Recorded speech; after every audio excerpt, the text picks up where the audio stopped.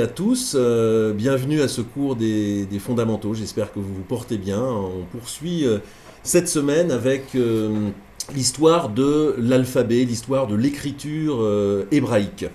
Euh, une, histoire qui va nous emmener euh, dans cette ère moyen-orientale qu'on avait déjà abordée sous l'angle purement historique euh, dans l'histoire juive au long cours qu'on avait donné il y a quelques mois.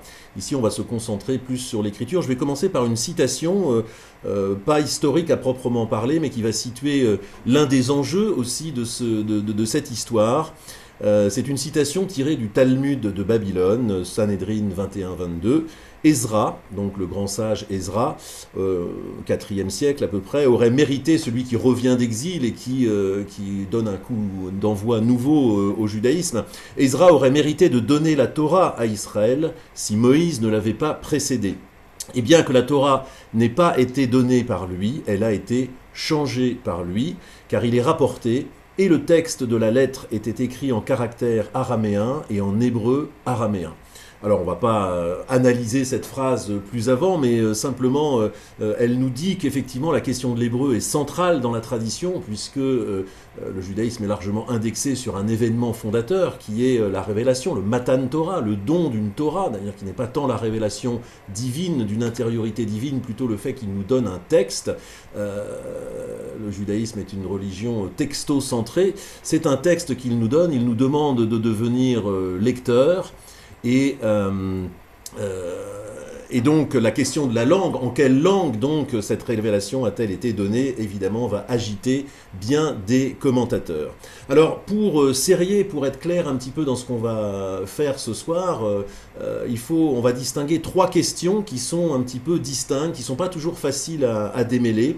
On essaiera de les aborder, enfin non pas tour à tour, mais en tout cas elles vont irriguer notre présentation ce soir. Tout d'abord, l'évolution de l'écriture elle-même. L'hébreu en tant que langue, c'est une langue et c'est une écriture aussi. Alors on va distinguer les deux. Évidemment, elle ne vient pas de nulle part, elle ne vient pas précisément d'un seul coup euh, du mont Sinaï. Elle s'inscrit dans une histoire moyen-orientale, euh, l'histoire de l'évolution euh, des techniques humaines pour fixer sa pensée, pour la transmettre. Et donc les écritures passent par différents stades.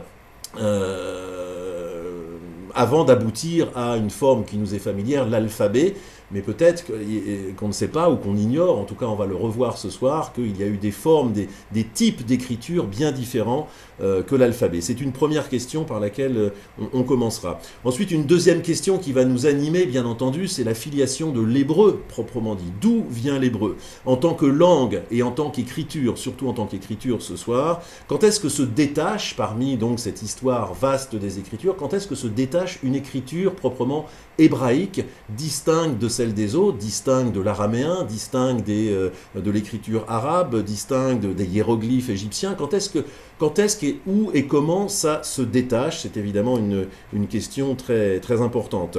Euh, D'autant plus importante de l'aborder historiquement qu'évidemment dans la tradition il y a une sorte de tropisme à penser qu'effectivement l'hébreu est tombé, serait tombé d'un seul coup euh, du mont Sinaï, qu'il y a une sorte de naissance euh, sui generis de, de l'hébreu. C'est évidemment pas le cas. Euh, L'hébreu euh, tire sa filiation euh, d'une évolution antérieure qu'on va retracer ce soir. Et puis la dernière question qui va nous animer, c'est est-ce que les Hébreux aussi ont participé à cette histoire, à cette étape de l'alphabet? On va le dire dans quelques instants, mais l'alphabet représente un progrès cognitif immense, une même révolution mentale dans l'histoire des hommes, un système assez génial qui, avec quelques dizaines de lettres, 22 pour l'alphabet hébraïque, mais entre 20 et 30 pour les différents alphabets, euh, suffit à fixer finalement toutes les richesses de la pensée humaine. Avant d'arriver à ce stade de l'alphabet, il y a justement euh, bien d'autres écritures avant qui euh, utilisaient beaucoup plus de signes, donc il y avait un rapport d'efficacité évidemment moindre. Donc l'alphabet est une révolution géniale, on va en voir la naissance, euh, et la question qu'on va se poser, c'est en quoi peut-être euh, les Sémites certainement, mais les Hébreux en particulier, ont participé ou pas, ou ont contribué en tout cas à cette, à cette histoire. Alors le plan qu'on va suivre ce soir est assez simple. On va, on va passer un petit peu de temps à comprendre ce que sont les écritures, où est-ce que l'écriture est née, alors, j'ajoute aussitôt ici, dans notre ère, on va dire, Moyen-Orient euh, occidental, il y a bien sûr une histoire de l'écriture aussi dans des mondes beaucoup plus à l'est, en Asie, euh, en Chine, en Inde. On va pas traiter de ça, c'est pas un cours général sur les écritures, mais en tout cas pour toute cette ère euh, de, la planète, on va voir qu'elle est née on va voir qu'elle est au quatrième millénaire, mais on, va passer un peu de temps pour comprendre ce qu'est une écriture par rapport à la, pensée humaine. Ensuite, on en verra la naissance précisément, dans quelles circonstances, et bien sûr les évolutions graphiques, comment un stock de signes a évolué vers euh, des écritures constituées. Euh, et puis, bien sûr, on passera un moment très important sur la naissance de l'alphabet, dont j'ai euh, souligné déjà, on ne cessera de le répéter, qu'elle est une invention distincte. À un moment, il y a une sorte de saut qualitatif qui se fait. Il y a des écritures qui permettent de fixer des langues, des pensées. Il en est même de très sophistiqués. Mais à un moment, c'est certain, il y a une sorte de saut supplémentaire qui est justement la naissance de l'alphabet. Pour bien en apprécier la, la, révolution, il faudra passer par les stades antérieurs. Et puis, euh, on, mettra le focus, l'attention évidemment sur l'hébreu en tant qu'alphabet distinct. Et on en verra aussi les, évolutions, parce qu'entre euh, la naissance de l'hébreu et l'alphabet qu'on utilise aussi bien dans les lettres carrées aujourd'hui euh, que dans l'écriture cursive, eh bien, il y a aussi une évolution qui est tout à fait passionnante. Donc on va commencer. On va commencer avec euh, des généralités, quelques généralités sur l'écriture, euh, avec les linguistes qui distinguent, ce sera une première approche qu'on affinera par la suite, euh, distinguent trois types d'écriture en quelque sorte, ce qu'ils appellent l'écriture synthétique, l'écriture analytique et l'écriture alphabétique proprement dit. L'écriture synthétique, tout d'abord, les Allemands disent Ideenschrift, écriture de mots, une écriture des idées ou des mots. c'est une bonne façon, en fait, c'est un bon terme pour montrer que, euh, effectivement, dans, un premier stade, euh, les hommes, les hommes tout simplement dessinent des choses qui sont à l'extérieur d'eux et les prononcent d'une certaine manière.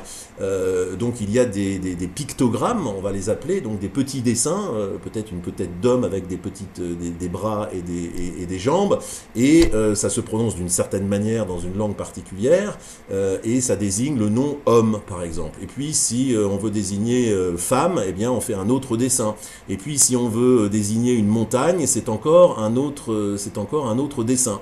Euh, et puis si on dessine un canard ou un champ, c'est encore un autre. On voit tout de suite que dans ce type d'écriture, Ideenschrift, des écritures de mots, il y a la possibilité évidemment pour l'homme de fixer ses pensées, mais il y a pratiquement autant de dessins différents, de signes différents qu'il y a d'idées ou de choses ou d'objets matériels dans le monde. Donc il y a une disproportion, c'est plus de 6000, 7000, 8000, etc. de, de signes. C'est pas un système très, très efficace, en tout cas pour. Euh, c'est pas un système très économe, en tout cas en nombre de signes.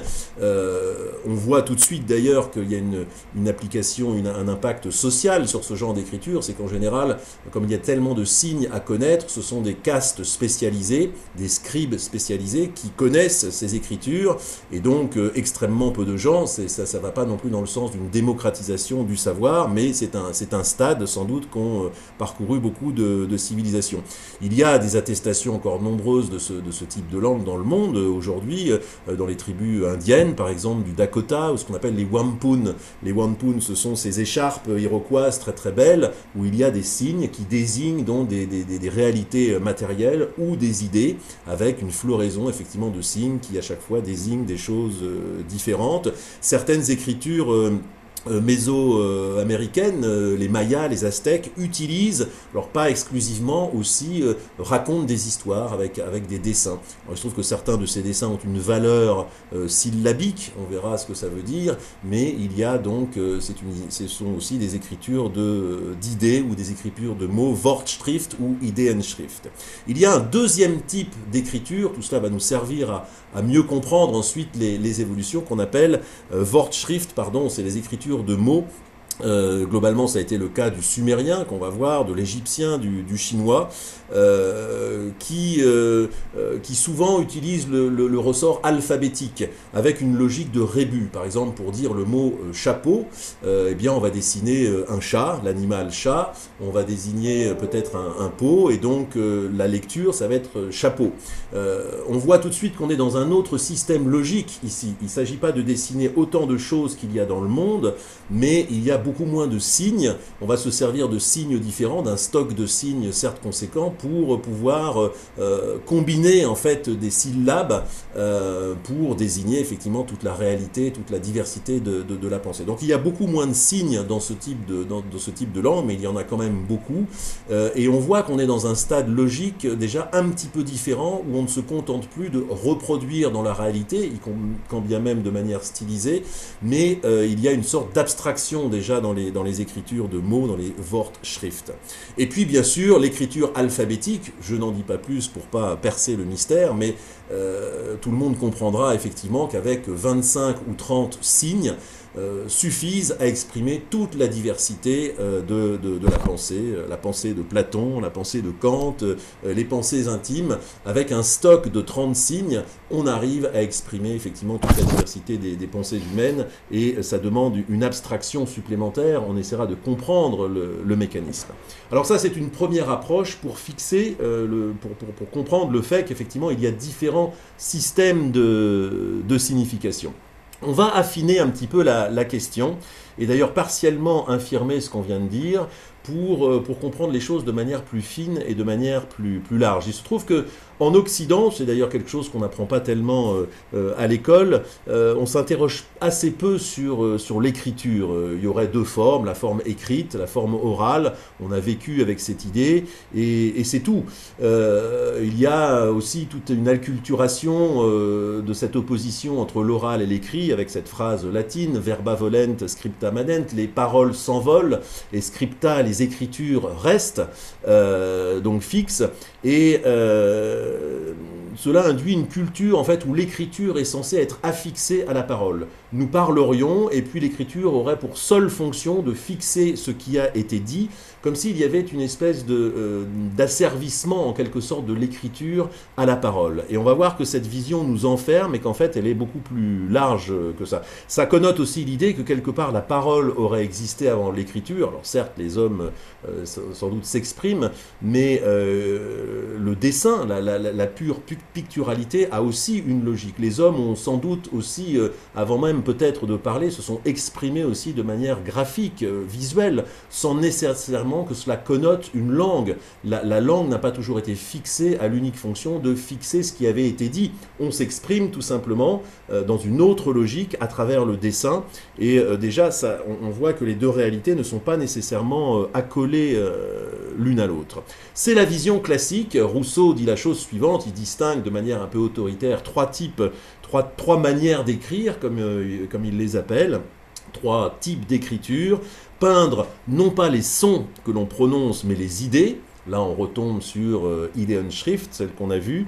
Ça, ce serait le premier stade. Le deuxième stade, ce serait représenter les mots et les propositions par des caractères conventionnels. Là, on est plus dans une notation un peu syllabique, euh, qui serait un deuxième stade d'évolution. Et le troisième stade, qui pour lui est le stade suprême, euh, analyser la parole en alphabet. Alors, il réserve dans son langage fleuri la peinture au sauvage. Hein. Le sauvage, c'est celui bah, qui dessine simplement ce qu'il a devant lui, euh, sur, son, sur sa pierre ou sur son bout de bois. Les signes, déjà un petit peu plus sophistiqués, dans sa pensée, il les réserve aux barbares, c'est-à-dire euh, crédité peut-être d'un début de civilisation, et l'alphabet au peuple policé, comme il les appelle, à savoir évidemment la civilisation euh, occidentale. Euh, on voit en tout cas que cette vision de, Rousseau, euh, un petit peu sommaire sans doute, encore avait-il le mérite de, réfléchir justement à, différents styles, mais quand même un peu sommaire, euh, implique aussi une sorte de progression dans la mentalité. Il y aura une mentalité primitive qui serait rivée au dessin, et puis l'histoire de l'écriture, ce serait celle de l'abstraction, voulant dire par là effectivement un affinage de la pensée de plus en plus important avec le stade ultime étant représenté par l'alphabet. C'est notoirement faux, puisque le chinois, on le sait, encore repose largement sur une logique idéogrammique ou idéographique, et personne ne pense effectivement que la civilisation chinoise est moins sophistiquée que la civilisation sumérienne ou romaine ou grecque ou hébraïque. donc c'est simplement des, systèmes, des manières de, signifier différents. En fait, il y a une, autre distinction qui permet de sortir de cet enfermement entre parole écrite, parole, parole, parole parlée et parole écrite, avec l'écrit qui n'aurait pour seule fonction que de noter ce qui a été euh, parlé. Euh, c'est une distinction qui est faite par euh, Louis-Jean Calvé, qui est un sociologue un sociolinguiste très très intéressant euh, en France, il enseigne, ou il a enseigné en tout cas à la Sorbonne, euh, qui, dit, qui, propose de, voir euh, les écritures comme de, de, penser l'écriture par rapport à deux grands systèmes de signification humaine, ce qu'il appelle le geste, la gestualité, et le pictural, la picturalité la gestualité, c'est tout ce qui fait sens ici et maintenant. Et ce n'est pas seulement la parole. Effectivement, quand on parle, ça fait sens avec les auditeurs qu'on a autour de soi. Euh, mais en fait, la, gestualité, c'est beaucoup plus large. Ce sont aussi tous les systèmes de signification qui sont faits pour les gestes, les danses rituelles dans toutes les civilisations et sur toute la planète euh, en font partie. Donc les gestes, les danses, la fumée. La fumée a été utilisée aussi pour communiquer chez de nombreux peuples. Le langage tambouriné, il est euh, des dizaines et dizaines de codes différents qui sont dans une expression gestuelle. Euh, qui n'est pas encore une fois nécessairement seulement de la parole des masses sonores c'est, ce sont le rite, euh, les rites de beaucoup de peuples euh, font appel à la, gestualité sans encore une fois qu'elle se soit affixée, euh, à, forcément à être écrit derrière. Alors le pictural, effectivement, la picturalité est une deuxième dimension de signification utilisée par les hommes qui ajoute effectivement à la gestualité une fonction d'expression et de, communication et de conservation du message. Effectivement, les écritures vont euh, vont aller dans cette direction. Euh, mais encore une fois, le pictural n'est pas forcément euh, rivé à l'expression, à, fixer ce qui a été dit. Par exemple, si, on prend, c'est un exemple que donne Louis-Jean Calvé, les noix de cola dans beaucoup de cultures africaines qui accompagnent par exemple les, les mariages, ce sont des objets qu'on appelle sémantisés. Beaucoup de civilisations utilisent ces objets avec des choses qui sont dessinées, gravées, et donc ça assure la communication du message. C'est un message pérenne qui ne disparaît pas euh, après la situation qui le, qui, le, génère. On imagine qu'un mariage, ça dure euh, voilà, un certain temps, mais au-delà du mariage, ces objets restent, ce sont donc des objets sémantisés qui ne notent en rien une langue parlée, ils ont simplement une autre fonction, ils, véhiculent d'autres messages à travers le dessin, sans qu'ils soient simplement euh, l'expression, enfin le, succès d'année d'une parole qui a été prononcée. Euh, il y a euh, un, exemple fameux, alors il faudrait voir les, visuels, mais ce qu'on appelle le Codex Mendoza, euh, qui a été qui a été découvert par le 15e, 15e siècle, 16e siècle. On appelle Codex Mendoza, c'était le vice-roi de la Nouvelle-Espagne, qui notait justement l'histoire des seigneurs de Tenochtitlan, qui est un système à la fois visuel pour lequel les Occidentaux ont beaucoup de mal à déchiffrer, où on voit, c'est intéressant parce qu'on voit justement les deux logiques. On voit une logique purement picturale de dessin qui raconte une histoire un petit peu à la manière d'une bande dessinée muette, et non, mais qui génère à la fois de la beauté, à la fois de l'esthétique, à la fois de, l'émotion, à la fois du sens, d'une histoire précise, et puis à certains moments, euh, donc euh, on s'est beaucoup penché pour interpréter, pour donner, pour, comment savoir interpréter, et aussi à un moment, il y a euh, des dessins qui sont utilisés pour une valeur syllabique. On verra ça avec une logique de rébut, et là on voit effectivement un système assez libre qui fonctionne soit de manière complètement indépendante, par rapport au seul dessin, ou soit justement avec une fonction écriture, euh, avec la fonction de noter euh, une parole. On, verra ça de manière euh, plus précise. En tout cas, c'est intéressant de comprendre, ce qu'il faut retenir de cela, c'est qu'effectivement, euh, l'écriture n'est pas, euh, je me répète décidément, mais euh, seulement affixée à une langue. Souvent d'ailleurs, elle en est complètement indépendante. Il peut y avoir des signes qui se prononcent simplement différemment dans, différentes langues. On va voir ça chez les Sumériens et, les Acadiens. Et il y a une logique proprement aussi purement purement esthétique aussi. Et c'est très important dans l'histoire des langues de, de, voir, et c'est d'ailleurs encore une partie très importante de l'émotion. Si on prend, j'anticipe, mais la lettre Aleph aujourd'hui, pour ceux qui connaissent un petit peu l'histoire, on y reconnaîtra la tête d'un bœuf. D'ailleurs, Alouf veut dire bœuf aussi en, hébreu. historiquement, elle vient de là. Et c'est certain que l'aspect esthétique des lettres charrie toute une civilisation euh, qui passe en fait par le visuel. Quand on voit la lettre Aleph, on n'est pas supposé euh, savoir que c'est passé par l'acadien, le sumérien, l'hébreu, le phénicien, le proto-cananéen, toutes ces langues qu'on va voir. Euh, simplement, on voit qu'il y a une logique purement visuelle qui s'impose et qui vient jusqu'à nous et qui charrie quelque part de l'information humaine sans être encore une fois la transcription d'une langue donnée. Donc c'est très, très important de garder cette latence, cette, ce, ce jeu entre les deux systèmes purement gestuels et. Venons-en euh, venons maintenant bien sûr à la naissance de l'écriture. Pour l'ère euh, de la planète dont on parle, l'écriture est née tout simplement au quatrième millénaire avant notre ère, vers moins 3500, dans une région euh, qu'on appelle la, Mésopotamie, enfin, donc entre les deux fleuves, hein, je le dis souvent Mésopotamos, entre les deux fleuves, entre le Tigre et le Fracte, avec euh, une civilisation euh, tout à fait exceptionnelle, avec deux peuples qui sont mis en présence, sur lesquels il y a encore d'ailleurs beaucoup de, de mystères, les Sumériens et les Acadiens. Ce qui est intéressant, c'est que ce sont deux peuples qui, a priori, n'ont rien à voir les uns avec les autres, et c'est pourtant de leur fusion, de leur cohabitation, que va naître justement cette friction entre les deux peuples, que va naître quelque part euh, l'écriture. Alors les Sumériens, vraiment, euh, encore une fois, sont d'origine inconnue. Ils parlent une langue qui n'est pas indo-européenne, euh, qui n'est pas reliée au groupe indo-européen, qui n'est pas non plus reliée au groupe sémitique.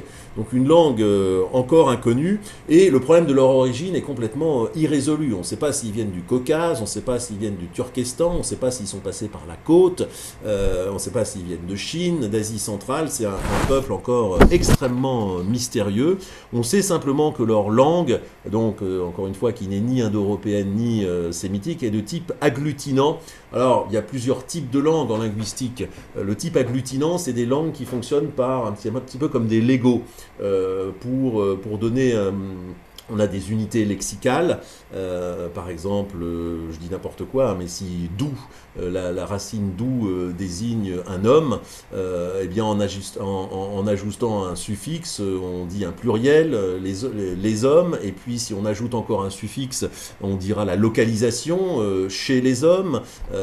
voilà, ben, par exemple, le hongrois est une langue agglutinante, vous connaissez peut-être le mot kert, kert c'est jardin, si on rajoute ek, kertek, on est au pluriel. Si on rajoute euh, le suffixe ban, ben, euh, kert ben dans le jardin, et si on s'amuse à, ajouter tous ces petits bouts, kertek ben, eh bien c'est dans les jardins. Ça, ce sont des langues agglutinantes, en général avec des monosyllabes, des syllabes très courtes, et ça, ça va avoir son importance par rapport à, l'évolution euh, des langues.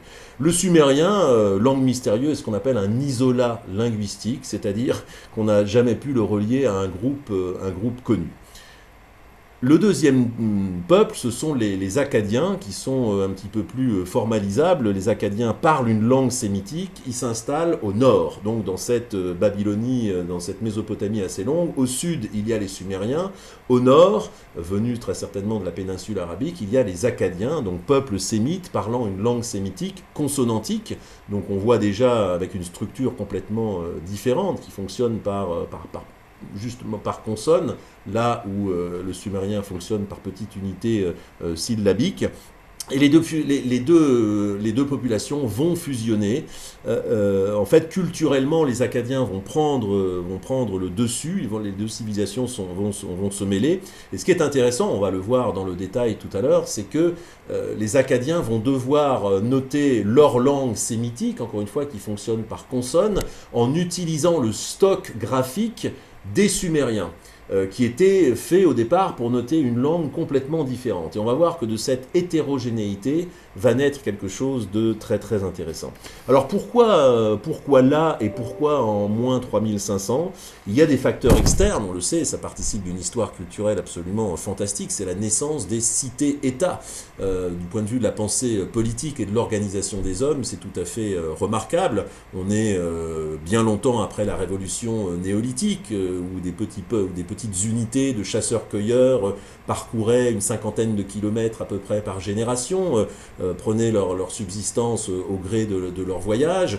Les hommes se fixent, évidemment euh, on y découvre l'agriculture, euh, euh, on y découvre aussi la, domestication des, animaux, ça introduit une, pression sur, sur les plantes autour, avec une sélection, les hommes améliorent leur nourriture, vivent plus longtemps, les structures, les structures sociales évoluent, se stratifient, on n'est plus dans la simple répartition homme-femme, les hommes chassent, les femmes restent autour du foyer, il y a une diversification et une complexification, la société se différencie en fonction ceux qui travaillent, ceux qui prient, ceux qui, euh, ceux qui, euh, ceux qui produisent, euh, enfin ceux qui produisent, ceux qui prient et ceux qui font la guerre. Donc on voit que tout ça se complexifie et Lyon qu'il y a cette structure politique nouvelle de cité-État, des villes extrêmement puissantes avec une sorte de hinterland, une sorte de voilà de, de, langue de bandes de terrain, enfin de, à 50 km à la ronde, parfois beaucoup plus, qui, euh, qui dominent.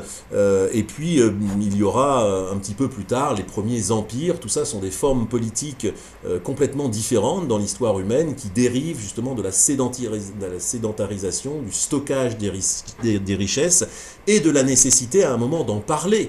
on sait que c'est le temps où naissent les premières équations chez les Babyloniens, tous pour résoudre tout simplement des problèmes extrêmement concrets de division des champs répartition des sols. Euh, quand on a un champ un peu biscornu et qu'on veut en connaître euh, la surface ou dire euh, voilà je t'en donne deux fois la surface, il faut, il faut commencer à mettre ça en équation. Et donc l'écriture naît par une pression civilisationnelle qui est à la fois sociale, qui est à la fois étatique, qui est à la fois politique et aussi une révolution mentale qui correspond à l'observation des astres, bien sûr aussi, une partie très importante de cette culture, la première système de divination rationnel, on va dire, et aussi la, nécessité de noter les richesses et de transmettre les richesses, et donc un système d'écriture. Alors tout ça a été retrouvé effectivement dans les tablettes qu'on appelle d'Uruk. Uruk, c'est une ville qui s'appelle Warka aujourd'hui, euh, qui est en Irak. Euh, vers le milieu du quatrième millénaire. Alors bon, on, il y a plusieurs, on distingue plusieurs périodes, etc. Mais donc dans la population sumérienne d'Uruk, vers moins 3500, on a retrouvé des pictogrammes différents, 2000, 2000 documents, en général taillés dans des tablettes d'argile, tracés dans des tablettes d'argile, euh, cuites au four avec un roseau taillé euh, en biseau. Alors le, plus, extraordinaire, c'est qu'on n'est pas sûr que, que, ces, que ces pictogrammes euh, représentent en fait euh, note la langue sumérienne. D'abord parce qu'il y a beaucoup de langues qui se partagent cette ère culturelle. On y parle euh, l'ourartéen, Urartu, c'était le nom d'un empire aussi, euh, l'assyrien, le hittite. L'hypothèse, effectivement, c'est que ces pictogrammes, ces premiers pictogrammes notés, noter le sumérien, mais on n'en est pas sûr. Par contre, on sait, pour, pour, avoir analysé ces tablettes, qu'on y parle de gestion des biens, de contrats, de caves, de troupeaux, et on est dans une, euh, on langue, euh, dans une écriture de choses, absolument, où on, désigne, on euh, on des, biens. Alors, il y a une... je vais essayer de partager... je vais essayer de partager... voilà pour vous montrer, alors de mémoire, oui voilà. Alors bon, l'image est extrêmement sombre, mais on voit ces premiers signes, c'est tout à fait émouvant, on reconnaît ici une main, on reconnaît des arbres, on reconnaît des épis, euh, donc des, choses qui nous parlent de... Euh, des choses qui nous parlent effectivement de la gestion des, des, biens. Euh, alors, ce qui se passe, ce qui se passe, c'est très intéressant. Et là, on est déjà dans les, dans les étapes, dans les étapes de, de l'évolution.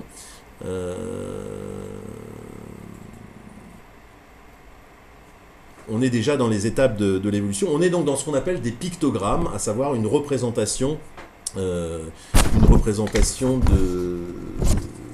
de, choses. Je regarde. Oui, je voulais vous parler, oui, non, c'est ça, de, quelque chose d'important qui est assez euh, fascinant.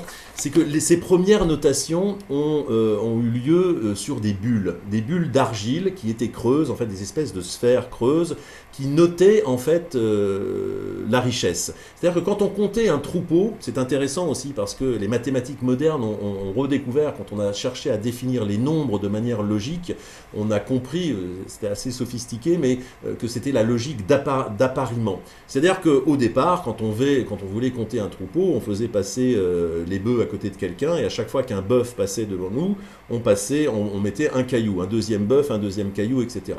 Et puis donc, on y avait autant de autant de, cailloux qu'il y, avait, avait de bœufs. Et eh bien pour conserver ça, Simplement, on enfermait le nombre de cailloux résultants dans des bulles d'argile, euh, qu'on appelait aussi des bulles de fondation. On retrouve ça dans beaucoup de monuments euh, babyloniens. Euh, et donc, c'était le témoin que ce troupeau comptait 53 unités. Et puis, tout simplement, au bout d'un moment, on s'est dit, mais plutôt que d'enfermer ces cailloux réels dans des bulles, de les d'avoir à les casser pour ensuite savoir quelle était la valeur de telle ou telle chose à l'époque où le comptage a été fait, eh bien, on a simplement marqué sur les bulles. On a fait les inscriptions sur les bulles. À chaque fois qu'il y avait un bœuf qui, euh, passait, simplement on mettait peut-être un petit bâton et, ça évitait d'avoir à ramasser des cailloux, à les enfermer dans des bulles et d'avoir à casser la bulle pour avoir accès à l'information. Et donc c'est comme ça qu'est née les premières écritures, euh, à travers une logique de comptage, à travers une logique de chiffres. Et on comprend aussi pourquoi les mystiques, on a vu ça dans un autre cours, pourquoi les pythagoriciens, pourquoi dans toutes les, dans toutes les pensées euh, spirituelles et profondes, il y a aussi cette fixage euh, du chiffre, de, la lettre et du chiffre. Il y a comme euh, quelque chose d'originel entre, entre le, système de notation symbolique de l'écriture et le comptage, le comptage des, richesses, du monde. Alors pour aller un peu plus ça, on est dans le stade des pictogrammes, on est en moins 3500 avec cette pression sociale, politique et cette manière de compter les choses. Là où c'est fascinant, c'est que l'histoire de l'écriture doit euh, doit ces, facteurs à, des facteurs de, type extrêmement euh, différents. On vient de parler, on de la pression sociale, mais il y a aussi un aspect matériel qui est très très important dans, l'histoire d'évolution des écritures. On écrivait sur de, sur de l'argile et le, quand on trace avec un bâton, euh, pas très fin, etc., dans l'argile, ça bave. On a beau ensuite mettre ces tablettes d'argile au four, ça fixe une sorte de débordement. On trace un sillon dans l'argile, ça bave. Et donc, les scribes babyloniens suméro-acadiens, on peut les appeler, ont utilisé la technique du euh, calame. Euh, et des cunéiformes, c'est-à-dire que euh, ce calame, un calame c'est simplement une, tige de roseau taillée en biseau, donc qui permet de faire des, traits assez fins, mais peut-être pas assez fins. Les pointes des calames, ils les ont taillées en forme de cunéus, cunéus en forme de coin. Euh, et en fait, on se sont mis à tracer des signes en, martelant donc ces petits calames pointés euh, pour, pour, pour, dessiner donc euh, les pictogrammes qui, qui, originellement, encore une fois, euh, reproduisaient euh, un objet euh, réel. Sauf qu'on voit tout de suite qu'à utiliser cette technique qui leur permettait d'aller plus vite et donc d'écrire plus vite et donc de transmettre plus vite, on est toujours dans cette pression cognitive d'état en train de, se construire, eh bien il y a ce qu'on appelle, ce que les linguistes appellent une démotivation du signe. C'est-à-dire que à vouloir dessiner une tête de canard, par exemple, avec un calame taillé en biseau avec un petit triangle au bout, on arrive à, voir la on arrive peut-être à voir la forme euh, encore de la tête de canard, mais elle devient très très abstraite.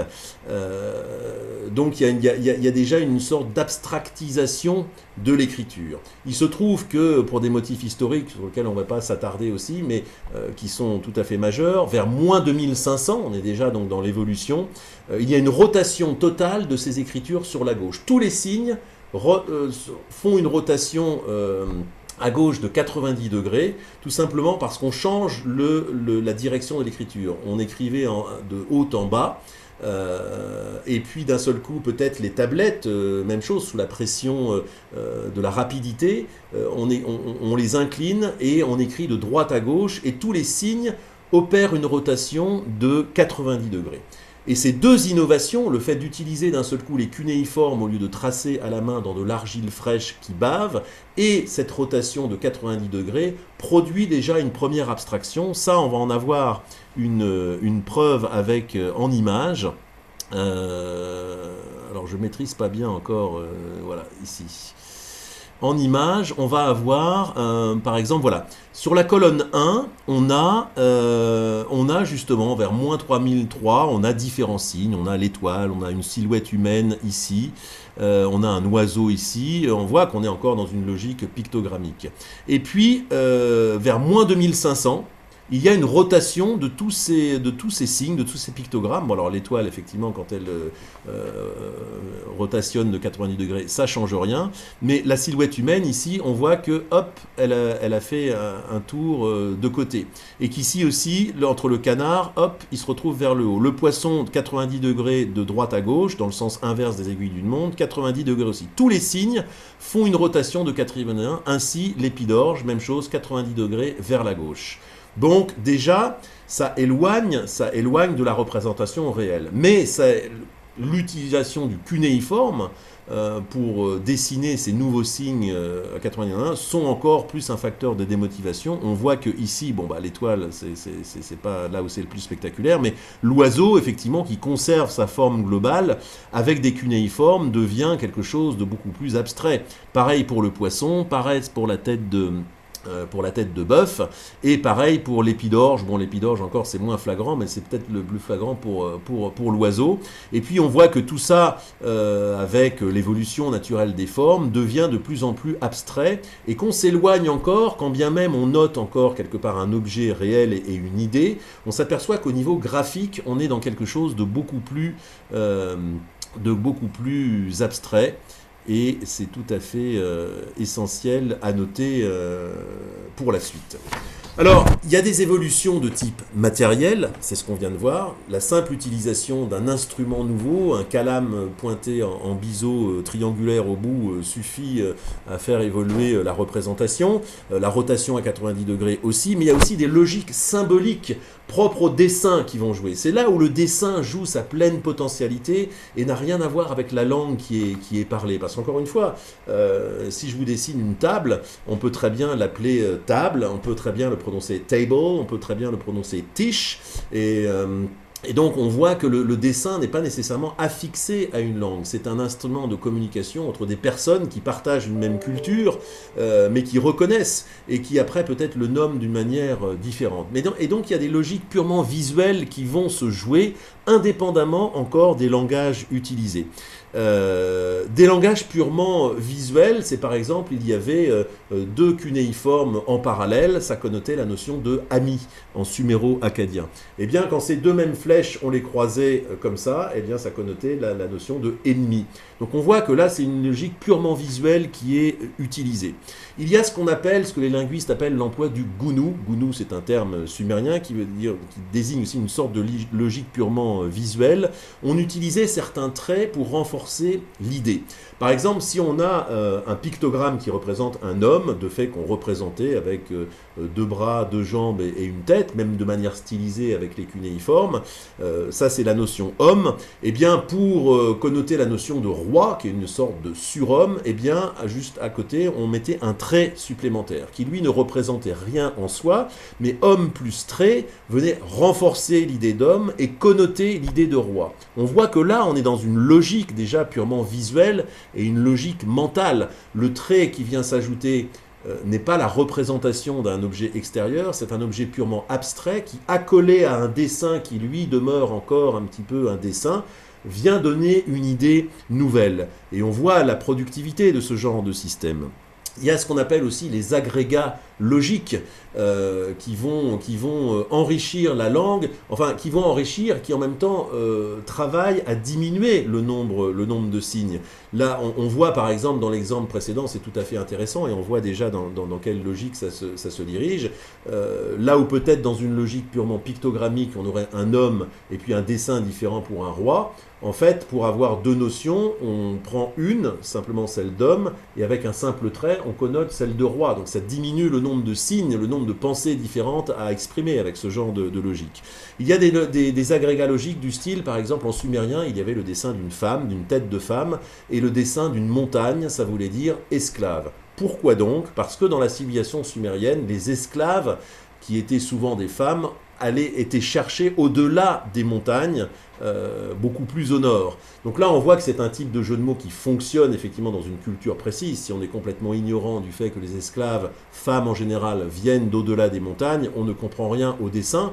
Mais on voit aussi que ce genre de logique purement visuelle et à la fois culturelle travaille aussi à diminuer le nombre de signes. Une tête plus le pain désigne l'action de manger. C'est pas facile de noter les idées abstraites.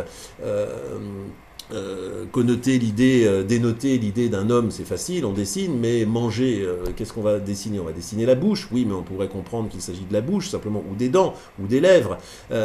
donc, on, enrichit et à la fois on diminue le socle de signes, en, composant des agrégats logiques de ce type. Même chose, la tête plus eau égale boire. et puis on a vu le type de logique purement visuelle où on, déforme un signe pour connoter une idée euh, proche ou inverse, ami, ennemi, ligne parallèle, ligne croisée. Euh, et puis cette logique va s'accentuer avec ce qu'on appelle des déterminatifs. Euh, quand on a une action, eh bien l'action peut connoter celui qui la commet, elle peut désigner le processus lui-même, elle peut désigner le résultat. Comment on va faire la différence à, travers, à, partir d'un même champ sémantique qui serait labouré? Comment on va désigner le laboureur, celui qui laboure, le fait de labourer, l'action de labourer et le résultat, à savoir le champ Eh bien, on va se servir d'un même signe simplement par des, des, petits ajouts de traits abstraits, on va connoter celui qui fait, celui qui reçoit l'action, celui donc le, le, récipiendaire de l'action, ou alors l'action elle-même. Et on voit donc qu'à partir d'une logique de pictogrammique, on arrive quand même à une abstraction euh, supplémentaire, créative de manière purement visuelle, qui qui contribue à, pouvoir exprimer des, idées évidemment beaucoup plus variées, et le tout, c'est ça le paradoxe et la puissance, avec un, stock de signes moindre. Euh, alors, ça c'est un stade d'évolution. Le grand stade d'évolution euh, suivant, euh, c'est justement la logique syllabique, parce que là on change, de, on change de braquet en quelque sorte, et ça va se produire justement avec la fusion suméro-acadienne. Les Acadiens petit à petit vont prendre euh, le leadership en termes culturels et vont vouloir noter leur langue, sémitique encore une fois, à travers un stock de signes, le sumérien qui était au départ censé plus ou moins quand même noter la langue sumérienne, qui encore une fois euh, plutôt monosyllabique. On est ici vers euh, moins 2000, le sumérien n'est plus parlé, euh, il y a un empire puissant, les Acadiens, c'est Sargon, Sargon d'Acadée, avec cette grande ville Akkad, qui a été le premier empire de, l'histoire, vers moins 2300, il a duré 200 ans, mais en tout cas il a, fait date parce que ça a été la première forme politique de l'empire, et ce qui va se passer, c'est que en voulant noter euh, leur langue avec des signes issus d'une autre culture, ils vont arriver à une logique euh, pratiquement syllabique. Alors, je vais la faire courte parce que c'est compliqué de voir ça dans l'exemple réel du sumérien et de l'acadien. Il faudrait prendre des mots, il faudrait dessiner des choses, mais on va le faire simplement, je vais vous faire simplement comprendre à travers une image qui est celle du vraiment du rébut. Effectivement, euh, les encore une fois, les Acadiens vont se servir de ces pictogrammes qui en général se prononcent doux, euh, dire, euh, euh, avec des, des, mots donc propres à l'acadien, mais en général monosyllabiques. Pour noter une réalité euh, d'un mot plus long, par exemple, eh bien, on va prendre des petites unités, on va prendre des petits signes monosyllabiques, et pour dire, par exemple, encore une fois, chapeau, eh bien, on va se servir du pictogramme qui, en sumérien, euh, dénommé le chat, enfin, qui dénommait le chat, mais qui donc en acadien se dit euh, chat, et puis le dessin d'un pot, par exemple, d'un pot de terre, qui pour les Sumériens euh, se prononcent, se, prononce, enfin, eux veulent noter la phrase chapeau et ils vont se servir de, signes qui en sumérien se prononçaient chat, pot, mais encore une fois désignaient tout à fait autre chose. Ils vont se servir de la valeur de prononciation de ces signes en fait. Et là on voit qu'on coupe, on n'est plus du tout dans la relation d'un dessin à l'objet réel qu'il est censé désigner. Quand bien même il a été abstractisé par la rotation à 82 degrés, quand, bien même on ne le reconnaît plus derrière ces petits coups de cunéiforme, etc., on va utiliser le stock de ces signes pour leur valeur syllabique, pour le son et pour pouvoir les accoler pour noter une toute autre langue, la leur, les Acadiens, et donc on est dans une logique de rébus. Ce qu'il faut comprendre par là, c'est que la réduction du nombre de du signe, du coup, est totalement drastique, parce que euh, pour exprimer euh, toute la la richesse d'un langage, eh bien, c'est pas difficile. En gros, il y a babebi-bobu, kakeki-koku, ça ceci sosu, dadedi-dodu, etc. Il y a à peu près 500 à 600 signes euh, qui chacun représente une valeur syllabique et quelque part, il n'y a plus qu'à les accoler euh, pour reproduire la langue qu'on a envie de, de noter. Et donc, on va aboutir à une logique syllabique euh, avec donc cette double résolution, d'abord on diminue le, nombre de signes, on passe de plusieurs milliers à simplement plusieurs centaines, ce qui est déjà un, progrès en quelque sorte. Euh, ça va aussi de pair avec la démocratisation du, savoir. Enfin, bon, c'est vrai qu'à cette époque-là, on n'est pas encore dans la démocratisation du, savoir, ce sont les, scribes qui, maîtrisent ça, mais euh, ça, va dans ce sens-là, en tout cas ça le deviendra quelques, millénaires plus tard, quelques siècles plus tard les, chez les Hébreux par exemple. Euh, et puis on change, euh, on, rompt avec la première logique, euh, effectivement pictogrammique, qui est encore affixée à la valeur reproduction de la, de la réalité. Ici, on note la langue, on note la masse sonore, et on est déjà dans un méta, métasystème en quelque sorte. Alors, on n'est pas encore, euh, on n'est pas encore ici dans l'alphabet, mais on a vu toute l'évolution. Euh, pour la résumer, donc une logique purement pictogrammique, énormément de signes qui reproduisent énormément d'objets, euh, des évolutions de type matériel qui contribuent à une abstraction, le cunéiforme, la rotation des signes, des évolutions purement logiques, même chose, qui, euh, par leur logique purement visuelle, contribuent à diminuer le stock de signes, à, combiner des systèmes d'esprit différents, euh, des lignes purement, purement visuelles, avec des notations déjà abstraites de grammaire, des traits qui viennent renforcer et qui connotent le sujet, l'objet, l'action, euh, ou alors des augmentatifs, l'exemple entre homme et roi qu'on avait pris, etc. Donc tout ça, tout ça contribue à justement une notation un système de notation qui, note déjà, avec le, jump en quelque sorte syllabique, qui nomme la langue telle qu'elle est parlée. Alors de fait, là, on est dans une dépendance plus importante de l'écriture par rapport à la langue. Euh, le, dessin ne devenait plus totalement autonome, mais en tout cas un système déjà assez puissant qui, avec quelques centaines de signes seulement, arrive à nommer toute la diversité des pensées humaines. Alors, on arrive, euh, le stade suivant, enfin qui nous intéresse, c'est l'alphabet. Comment on arrive, euh, comment on arrive à l'alphabet? Alors, avant d'en arriver à l'alphabet, je vous propose un, un parcours, c'est pas non plus un cours totalement d'histoire, mais euh, un petit point sur les langues qui sont utilisées dans cette région sur le deuxième, vers le deuxième millénaire avant l'ère chrétienne, on est vers moins 2000. Et on se posera, donc on va en faire une petite revue rapide, et on se posera aussi la question de savoir euh, quel est le bon candidat. Est-ce que l'une de ces langues, est-ce que, et surtout est-ce que l'un de ces systèmes de notation a pu évoluer vers l'alphabet alors, de fait, il y a une diversité culturelle euh, extraordinaire dans, cette région. Il y a le hittite. Le hittite, vers la fin du mois 3e millénaire, euh, moins 2002, moins 2003, le peuple hittite arrive et s'installe en, Anatolie avec leur fameuse capitale Atusha, une civilisation extrêmement brillante, évidemment nombreux, nombreuses euh, attestations euh, en Turquie encore actuellement et euh, militairement très très très très puissant. ils utilisent aussi le système des cunéiformes pour nommer d'ailleurs plusieurs langues, le hittite qui est leur propre langue pour l'administration interne et aussi pour la religion, mais ils utilisent aussi l'acadien pour la correspondance diplomatique. Et puis il y a d'autres langues, le hourite, le hatti euh, tout ça qui correspondent à euh, des époques différentes euh, où certaines villes ont pris le pas sur d'autres. Et c'est une écriture intéressante qu'on appelle boustrophédon. Bos, c'est le bœuf, bien sûr, en, grec. Bosphore, c'est l'endroit où les bœufs foraine traversée, euh, Bosphore, donc l'écriture boustrophédon, c'est une écriture en fait où on commence à un bord de la feuille, tac tac tac tac tac tac tac, et arrivé au bout, eh bien comme le euh, sillon du bœuf qui revient et qui trace le sillon en temps inverse, eh bien on écrit aussi en sens inverse, ce qui donne quelque chose d'intéressant en nombre de signes, c'est que les signes peuvent apparaître de manière symétrique, une fois orientés de la gauche vers la droite ou une fois de la droite vers la gauche, un petit peu comme le système des ambulances en quelque sorte. Euh, donc les Hittites utilisaient un, alphabet, enfin non pas un alphabet, mais des hiéroglyphes euh, assez, sophistiqués, mais ne sont pas allés jusqu'à l'idée euh, alphabétique non plus. Il y a un autre candidat extrêmement intéressant, un titre culturel, c'est l'ougaritique.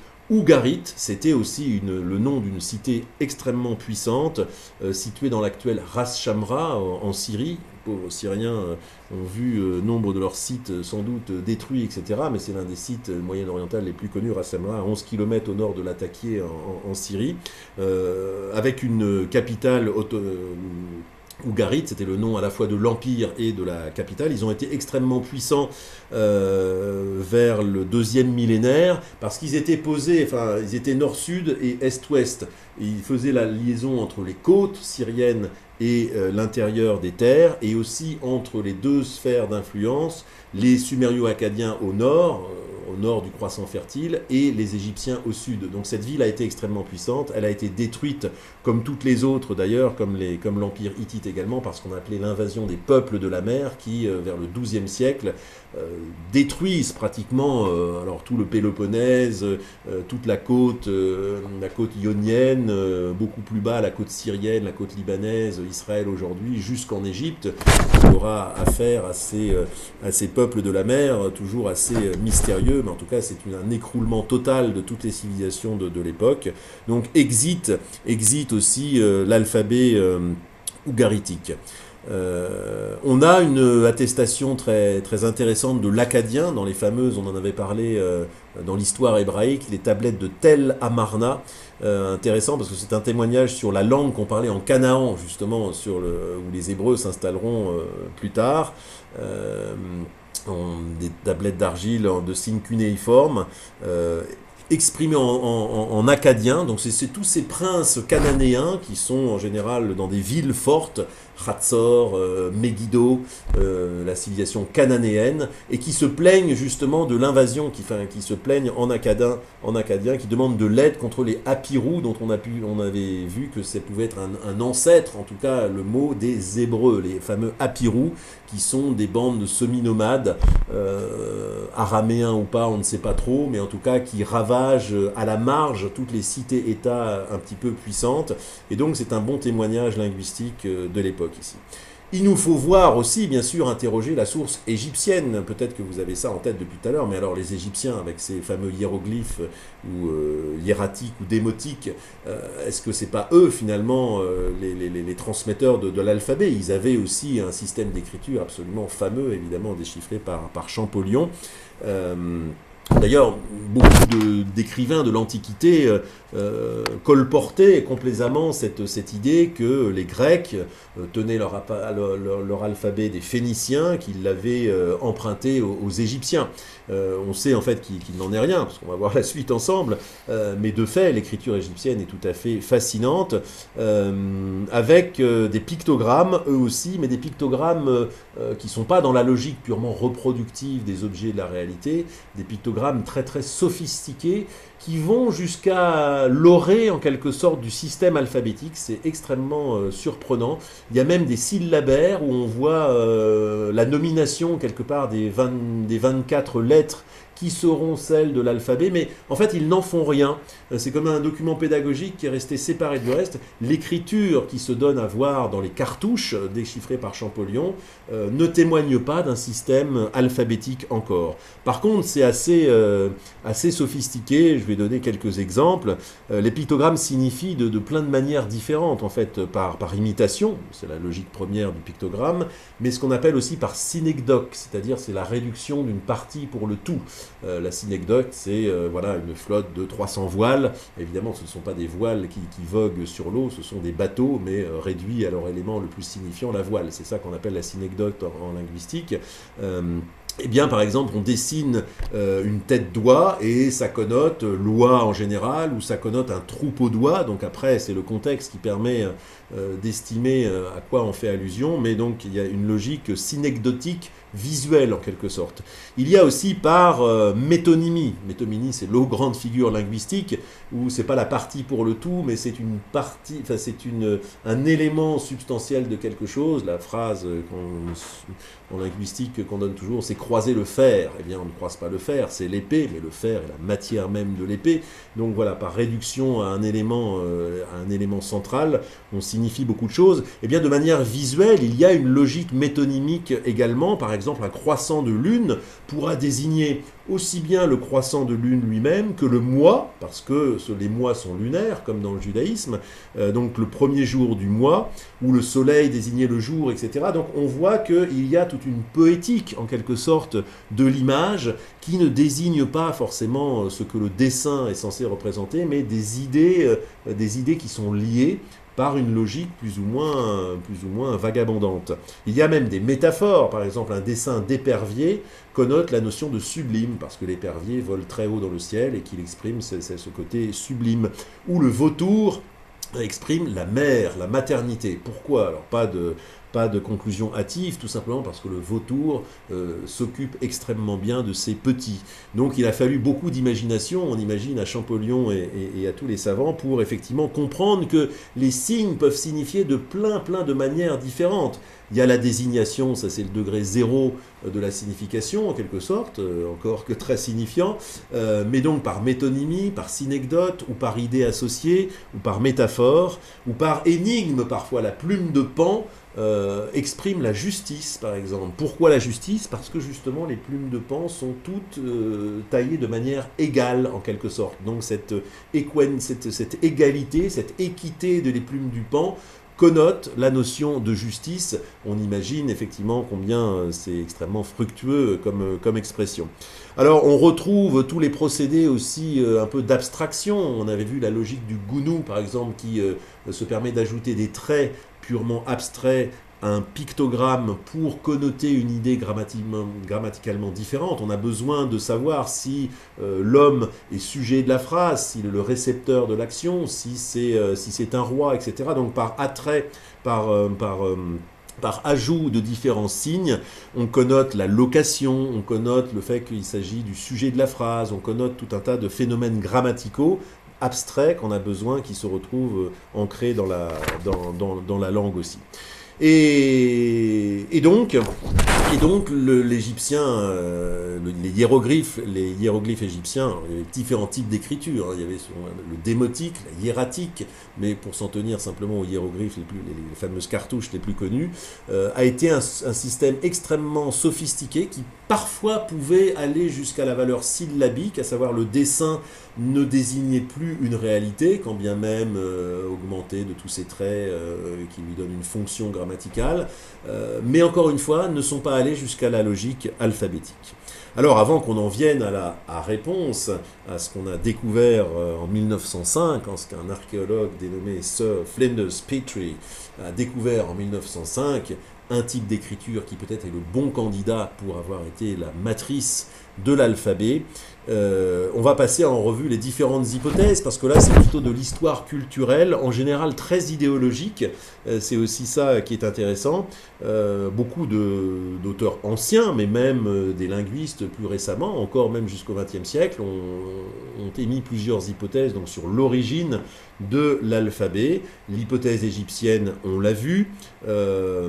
Ça, c'était la filière par les Grecs et les, Phéniciens, puisqu'il y avait des contacts. Euh, on ne dit-on pas que Pythagore avait euh, tiré toute sa sagesse et sa mystique euh, pythagoricienne, justement, des sources antiques égyptiennes, enfin les, plus antiques. Donc voilà, il y a toute une filiation culturelle qui, poussait certains à émettre l'hypothèse que, effectivement, c'est bien, bel et bien les hiéroglyphes égyptiens qui ont donné lieu à l'alphabet, mais on sait aujourd'hui que, que c'est faux. Les, Égyptiens n'ont pas été jusqu'à la, logique euh, alphabétique. Il y a l'hypothèse euh, mésopotamienne. Alors oui, bien sûr, la ressemblance des lettres, on va le voir à travers les graphiques qu'on va voir, mais on a bien vu que le maximum de, l'évolution de l'écriture mésopotamienne, c'était euh, c'était la langue syllabique et non pas, et non pas alphabétique.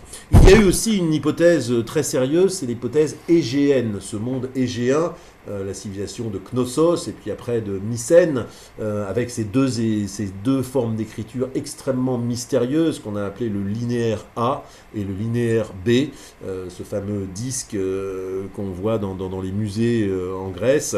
le linéaire A été utilisé en Crète au moins 17e, moins 16e siècle avant l'ère chrétienne. Il note une langue qui, à ce jour, n'a pas été encore déchiffrée. Donc il reste des, choses majeures sans doute à décrire pour mieux comprendre ce monde euh, donc assez lointain. Et puis le linéaire B, qui a été un autre type euh, d'écriture, utilisé entre le moins 15e et moins 12e siècle. Euh, on en a retrouvé beaucoup à Pylos, à Mycène, donc dans cette civilisation mycénienne.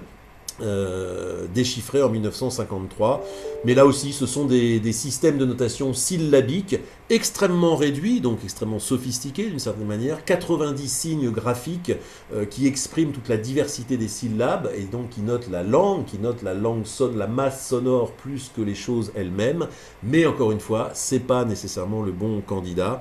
On a parlé des Philistins, dont on pense que, euh, enfin, qui ont donné dont la Bible parle, euh, dont on pense que c'est l'un des peut-être de ces peuples de, la mer, en tout cas qui vers le moins 12e siècle se sont installés en Canaan, euh, sur les côtes, euh, mais là, il y a un côté euh, idéologique très marqué, parce que dans des problématiques plus vastes entre Philistins, euh, Palestiniens, certains diront, ce qui est évidemment totalement faux, puisque la Palestine est simplement le nom d'une entité politique donnée par les, par les Romains, et n'ont rien à voir avec les Philistins en tant que peuple, qui eux se sont installés au XIIe siècle. Donc il y a des composantes politiques qui ont voulu faire de ces Philistins les, les, promoteurs de l'alphabet. On sait que scientifiquement c'est totalement faux. Et puis les Phéniciens, alors qui de fait, dont on sait qu'effectivement ils ont transmis euh, la forme alphabétique aux Grecs, mais ça n'en fait pas pour, autant les, inventeurs. Il y a des chaînons manquants euh, bien, bien avant, parce que ce phénomène de transmission de, Phénicie, euh, voilà, c'est vers le moins 10e siècle, le moins 9e siècle, le moins 8e siècle, 7e, 6e pour les, pour, pour les Grecs, mais même en moins 10e siècle, où l'on sait qu'il y a une écriture phénicienne, on va en voir de très beaux spécimens dans, dans les tableaux qu'on va voir tout à l'heure, l'alphabet existait déjà euh, avant, et donc ça n'en fait pas non plus les, initiateurs. Alors d'où viennent, d'où vient, d'où pourrait provenir euh, l'alphabet Eh bien, c'est cette découverte absolument fantastique, à la fois archéologiquement et à la fois sur le plan de la pensée, qui va nous occuper maintenant, c'est ce qu'on appelle les inscriptions proto-sinaïtiques. Alors le nom est un petit peu barbare, mais euh, tout simplement parce qu'en 1905, donc un archéologue anglais, Flinders Petrie, découvre au milieu du Sinaï, dans un lieu dit euh, Srabit el-Kadem, euh, dans une mine, euh, dans une mine de turquoise, euh, probablement peuplée d'ouvriers, enfin, où des, Égyptiens, des mineurs, en tout cas sémites, ça on en est sûr, travaillant pour l'Égypte. On est ici vers le moins 16e, moins 15e siècle, il y a encore des, controverses de datation. Euh, eh bien, ce Sir Flinders Petrie découvre une petite, une petite figurine avec des lettres tracées dessus. Euh, donc voilà, des signes. S'agit-il de pictogrammes? Peut-être, mais en fait, euh, en essayant d'y réfléchir comme des pictogrammes, la, tablette reste muette, il en, déduit rien. Euh, s'agit-il d'une notation euh, syllabique? Mais alors, il faudrait savoir quelle, langue elle était censée noter. Alors, évidemment, on pense que, on imagine qu'il est passé par toutes ces hypothèses et qu'il a fait tout ce travail. Mais même chose, les lettres restent muettes avec cette technique d'interprétation. Et en fait, le coup de génie, à la fois interprétatif de Sir Flinders Petrie, auquel il faut ajouter euh, euh, Alan Gardiner, un autre, euh, archéologue linguiste en 1916 qui va compléter l'interprétation de ces, signes, va justement faire l'hypothèse de l'acrophonie, on va voir de, quoi il s'agit et va réussir à faire parler cette, cette, cette, pierre. Alors, l'acrophonie, qu'est-ce de quoi, de quoi il se de quoi s'agit-il? Là, on va parler à la fois du, coup de génie de l'interprétation, mais du coup qui dit euh, en fait comment cette écriture fonctionne et qui va nous montrer qu'effectivement il s'agit d'un stade cognitif différent. Encore une fois, au risque de nous répéter, il y a trois manières quelque part de signifier, soit en reproduisant quelque chose de proche de la réalité, soit en notant la langue, c'est-à-dire la manière dont on prononce euh, les, si on veut parler du mot chat, eh bien on prononce le mot chat, cat en anglais. Euh, autrement dans d'autres langues, et donc le, signe est utilisé pour noter la production sonore. Euh, eh bien, Soft Linus Petrie fait l'hypothèse qu'il s'agit en fait. Alors, attendez, je. Voilà. Fait l'hypothèse qu'il s'agit d'un principe acrophonique, c'est-à-dire qu'on signifie comme P comme Pierre. Euh, par exemple, si, euh, si on écrit le mot livre, eh bien, on, va, on, note en fait les, les, phonèmes. Alors, le phonème en linguistique, c'est toutes les, toutes les, tous les sons par lesquels on doit passer pour prononcer quelque chose. Par exemple, si je, dis le mot couteau, couteau, d'une manière linguistique moderne, ça, va, se, distingue en différents phonèmes. Il y a le phonème que, il y a le phonème ou, il y a le phonème te et il y a le phonème o. Et donc avec ces quatre phonèmes, ça fait que, ou, o, couteau.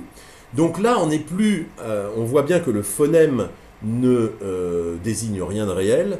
Il ne désigne pas non plus les syllabes. C'est pas cou et to. On dessine pas un coup et puis euh, la lettre to selon dans un couteau. La langue est ici complètement décortiquée de manière abstraite. Euh, en phonème, en son, en son complètement abstrait, le, son que, le son ou, le son te, le son o, qui de fait n'appartiennent à aucune réalité précise. Même pas au cou, même pas au to, même pas au couteau, ça ne désigne rien de la réalité, ça donne juste l'émission de sons fondamentaux.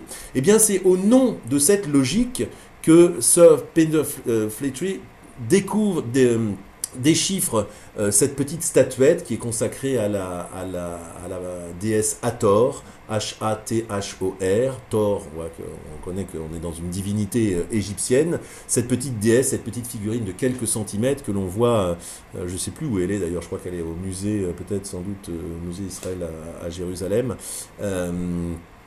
et avec ce, ce, principe en tête, il réussit à déchiffrer la séquence les Baalat, qui veut dire en hébreu, enfin en langue sémitique, à la déesse. Justement, donc, les Baalat, alors on va, on va du coup ça le voir euh, sur un dessin. Euh, je suis vraiment pas doué. Alors, où est-ce qu'il se, où est qu'il se trouve ce dessin?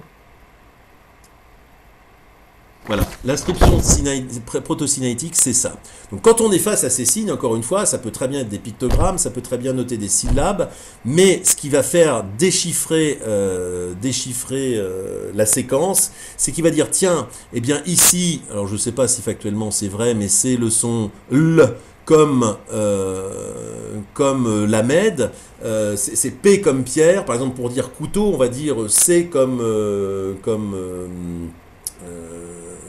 enfin que comme, euh, comme coup, euh, donc on aurait un dessin de coup, euh, ou comme, de, fait mon exemple n'est pas bien pris, mais voilà, chaque, chaque, chaque signe désigne une réalité, mais qu'on n'utilise pas pour la manière dont ça se prononce, mais la manière dont la première lettre se prononce. Et ici, on a la valeur le, ici la valeur b, ici la valeur a, Ici, là-bas, et donc on a la séquence les baalat. Euh, et donc, encore une fois, le, signe n'est plus du tout utilisé pour connoter une, manière de. une syllabe, non plus utilisé pour euh, désigner un objet, mais simplement pour utiliser pour connoter la première attaque sonore du mot. Euh, et donc pour désigner le phonème. Et, c'est au, nom de cette, logique qu'il réussit à déchiffrer cette séquence. Et donc, lui l'ayant déchiffré, évidemment, l'hypothèse porte sur la, révolution cognitive, c'est qu'à un moment, les hommes se sont servis des signes non plus pour une valeur phonétique, non plus pour exprimer des, des, syllabes, pour noter directement une langue, mais pour exprimer simplement des sons, des sons abstraits. Et avec quelques signes, quelques dizaines de signes, il y en avait 24, on a déchiffré 24 de ces signes, en fait on arrive à la totalité euh, à la totalité de l'expression des pensées. C'est ça le principe acrophonique, utiliser un dessin, non pour la valeur dont il se prononce de manière générale, mais pour, pour utiliser le premier, son de la manière dont il se prononce. Encore une fois, K comme couteau, ou comme euh, voilà, te comme, euh, comme table, euh, O comme ovale. Donc voilà, ces premiers, les, les, les, premiers, les premières attaques sonores de, de chaque mot. Euh, et donc, il n'en est pas des, centaines et des centaines, il en est que quelques dizaines dans une langue, et donc avec une dizaine de signes qui sont de ce fait totalement démotivés cette fois-ci, puisqu'ils ne connaissent plus que des phonèmes, que des sons fondamentaux, on arrive à euh, réécrire les sons de la langue d'une manière totalement, euh, totalement abstraite. Et donc là, on voit qu'on est dans une abstraction totale. Alors évidemment, la question qui a, qui a dérivé de ça, c'est mais qui était ces euh, ouvriers, ces mythes Est-ce qu'il ne s'agirait pas justement des Hébreux esclaves en Égypte? On imagine que là, ça a remué sérieusement euh, idéologiquement. Il y a l'hypothèse, par exemple, de Shmuel Yavin, qui est un, un, épigraphe, euh, un spécialiste d'épigraphie hébraïque israélien, qui dit l'alphabet est nécessairement né dans un milieu nomade, semi-nomade, parce que, encore une fois, il n'y avait pas de... de sa, nécessité, c'est une innovation, on le conçoit absolument fantastique pour, pour, pour l'esprit humain, et ça ne pouvait pas avoir lieu dans un milieu trop installé, certainement pas dans un milieu de scribes spécialisés. Euh, il fallait des hommes, des hommes un petit peu en marge pour créer, pour créer un tel système, pour, pour créer une utilisation différente de signes. Encore une fois, ces signes avaient cours, mais ils avaient une autre fonction. Pour les rendre encore plus abstraits et ne faire que noter que les phonèmes, il fallait une sorte d'innovation dérivée de euh, voilà d'une condition sociale euh, semi-nomade. C'est l'hypothèse que fait Shmuel, euh, Shmuel, Yavin. Et donc évidemment, il pensait, euh, il pensait aux Hébreux esclaves en Égypte. C'est l'hypothèse qu'on appelle aussi Grim, Naftali, Hertz, Toursina et de, de, de, fameux linguistes israéliens aujourd'hui. Euh, alors évidemment, on n'en a pas, de preuves, mais de fait, il y a beaucoup de commentaires très très intéressants qui lient l'apparition de l'écriture alphabétique, de l'alphabet, avec l'idée monothéiste, parce que l'idée monothéiste est, ce genre d'abstraction aussi. On sait que les Égyptiens avaient connu, avaient conçu, réussi à concevoir. Euh, alors, ouais, faut que je revienne là-dessus. On sait que les Égyptiens avaient euh, avait euh, réussi à concevoir, euh, là j'ai perdu l'idée, excusez-moi, euh, oui, ce qu'on appelle l'énothéisme, c'est-à-dire qu'une hiérarchie de dieux avec un dieu plus important, mais pas nécessairement le monothéisme au sens où un seul dieu englobait la réalité totale. Alors il y a des pages, George Steiner, paix à son âme, justement, a beaucoup écrit sur l'abstraction que représente le, le monothéisme, l'idée euh, d'une réalité entièrement dérivée d'un principe un, d'un principe unique. On sait d'ailleurs que quelque part, c'est un petit peu le mouvement aussi opéré par la, philosophie, d'arriver à un moment à, à, décrire la multiplicité du monde sous la forme de l'arché d'un principe fondamental, d'essayer de plier en quelque sorte la réalité de la dérivée d'un principe unique. Donc on imagine que c'est un, un, effort de la, de la pensée humaine. Et de fait, il y a peut-être un lien entre concevoir le monothéisme et arriver à cette abstraction de l'écriture. En tout cas, beaucoup d'auteurs ne se sont pas privés euh, de faire euh, la jonction. Et ça viendrait renforcer l'idée que ce c'est dans des milieux semi-nomades encore, donc pas trop installés, pas trop attachés non plus au pouvoir, et peut-être aussi euh, capable de concevoir l'idée monothéiste que serait née l'écriture. Alors c'est aller un petit peu vite en, besogne que de dire qu'il s'agit nécessairement que ces ouvriers sémites euh, qui travaillaient dans les mines de turquoise, on sait qu'au sud d'Israël, hein, il y a ce très très beau lieu des mines de turquoise de Salomon aussi, donc on imagine tout à fait le contexte euh, dans lequel ces, personnes travaillaient. mais en tout cas, c'est dans, dans cette ère de civilisation, effectivement, mythes entre Canaan, entre Hébreux et Égyptiens que l'écriture alphabétique est née vers le moins 15e siècle. Aujourd'hui, cette hypothèse est absolument euh, défendue par tous les, scientifiques sérieux et une filiation s'installe en fait euh, de chaînons manquants qui, nous manquaient précisément il y a quelques siècles encore, à savoir l'écriture, le proto-sinaïtique et euh, l'endroit où l'alphabet naît se, se transmet on n'a pas tous les maillons non plus quelque part, au phénicien, qui va être le premier alphabet un petit peu complet à émerger sur la scène de l'histoire vers le moins 11e siècle, donc on est 200, 300, 400 ans après le proto-sinaïtique, d'où va dériver l'hébreu euh, quelques centaines d'années plus tard, euh, les plus vieilles attestations de l'hébreu étant le calendrier de Gézer, on va voir ça plus précisément, vers moins 1000, euh, moins, moins, moins 900.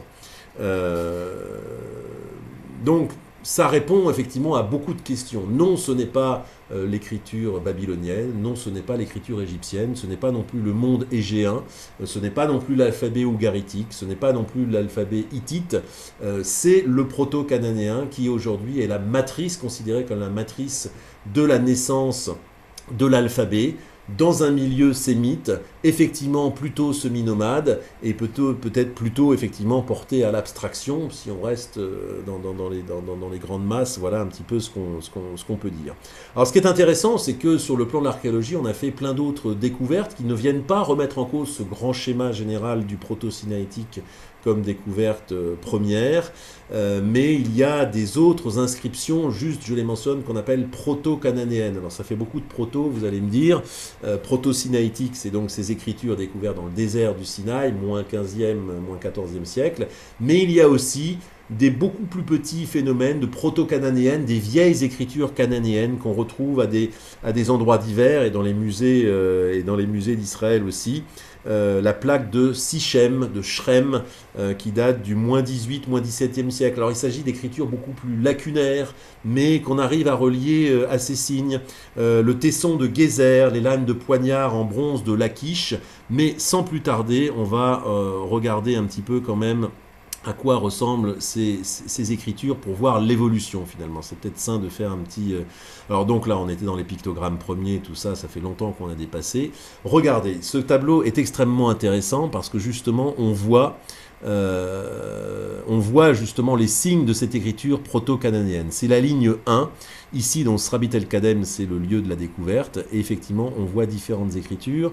Et là, on va voir comment elles évoluent. Le proto-cananéen, toutes ces, ces, tous ces petits témoignages qu'on trouve de manière éclatée sur des ostracas. Les ostracas, ce sont des tessons, euh, des tessons cassés, ou sur des langues de poignard. Les ostracas de Beth Shemesh, de Megiddo, sont des lieux en Israël. Effectivement, on voit les évolutions graphiques. Alors, elles sont pas très très sensibles, hein, euh, voilà, mais on voit qu'effectivement, ça, ça évolue. Ici, ça se simplifie. Ici, ça s'était arrondi. Ici, ça se rigidifie. Euh, il y, a des évolutions qui sont assez évidentes. Ici, le signe s'ouvre, l'ouverture des, euh, des, spirales, on va voir que ça va jouer un rôle important dans l'écriture araméenne, par exemple. Ici, on a cette petite vague, etc., qui, qui reste assez, euh, assez cohérente. Ici, on voit que la tête de bœuf, ici, qui, de, qui deviendra l'Aleph, la lettre Aleph, qui est encore très, très... très très dessin ici sur le proto-cananéen, effectivement, se stylise un petit peu ici aux, époques, aux époques suivantes. Donc ici, on a le proto, euh, le proto-cananéen, enfin ça c'est le proto-sinaïtique ici, il y a une petite erreur, ça devrait être euh, écrit proto-sinaïtique. Ici, le proto-cananéen, qui sont d'autres attestations trouvées de, sur différents endroits. Et ici, on a le phénicien, effectivement, euh, qui est le premier alphabet un petit peu organisé qui apparaît dans ce qu'on appelle le sarcophage de Hiram. Euh, donc, Hiram était un, roi euh, qui, était en rapport avec le roi Salomon. La, Bible en parle, euh, constructeur du, temple, en tout cas, qui fournissait les cèdres du Liban pour la construction du temple. très très beau sarcophage retrouvé vers moins 1000 avec un alphabet justement extrêmement clair et net avec les 22 signes classés dans le bon ordre Euh, donc ici, ça se, lit, ça se lirait plutôt de, droite à gauche. Évidemment, Aleph, Bet, Gimel, Dalet, Hevav, Zain, etc. On a toutes les lettres ici qui vont de, la droite vers la gauche, classées, ce qu'on appelle l'alphabet levantin, mais bon, ça c'est une notion très tardive, à savoir que euh, les signes sont classés dans un certain ordre et on va les retrouver dans tous les alphabets euh, suivants. et donc on peut dire que l'alphabet, quelques siècles après ces premiers signes du proto-sinaïtique, émerge dans un alphabet euh, magnifique, euh, phénicien, l'écriture phénicienne euh, dont le sarcophage d'Iram en moins 1000 atteste justement. Et puis le stade suivant qui nous intéresse, bien sûr, c'est ce qu'on appelle l'écriture hébraïque. L'écriture hébraïque est très nettement dérivée de l'écriture phénicienne. Alors, ce qui ne veut pas dire qu'il n'y ait pas d'autres qu'il n'y ait pas d'autre filiation. C'est-à-dire que les Hébreux étaient peut-être, on a vu qu'on ne pouvait pas l'affirmer de manière définitive, mais étaient en lien avec ces écritures proto-sinaïtiques. Euh, donc la question toujours, c'est de savoir est-ce que l'écriture euh, hébraïque est strictement dérivée de l'alphabet phénicien, ou est-ce qu'il est aussi euh, une variante simplement au même titre que l'alphabet phénicien, d'un rameau plus ancien qui serait le proto-sinaïtique. Ça, on ne sait pas répondre, on ne connaît pas euh, la, séquence exacte de tous ces, de tous ces événements, mais euh, en tout cas, pour ce qui est des, euh, attestations bien claires, c'est la ligne 4 qui constitue le la première apparition d'un alphabet hébreu euh, clair qu'on appelle le calendrier de Gezer. Alors Gezer, c'était une, ancienne ville cananéenne de, Palestine, située à, mi-chemin entre Jaffa et, Jérusalem. Elle est mentionnée dans de nombreuses sources, dans la fameuse stèle de Menerpta, le, pharaon égyptien. Euh, elle est détruite, reconquite. Enfin, c'est l'une de ces cités euh, très très puissantes euh, cananéennes comme Hatzor et, Megiddo. Euh, et ce calendrier est tout à fait émouvant. Alors, il y en a une autre, une autre attestation ici, le calendrier de Gézer.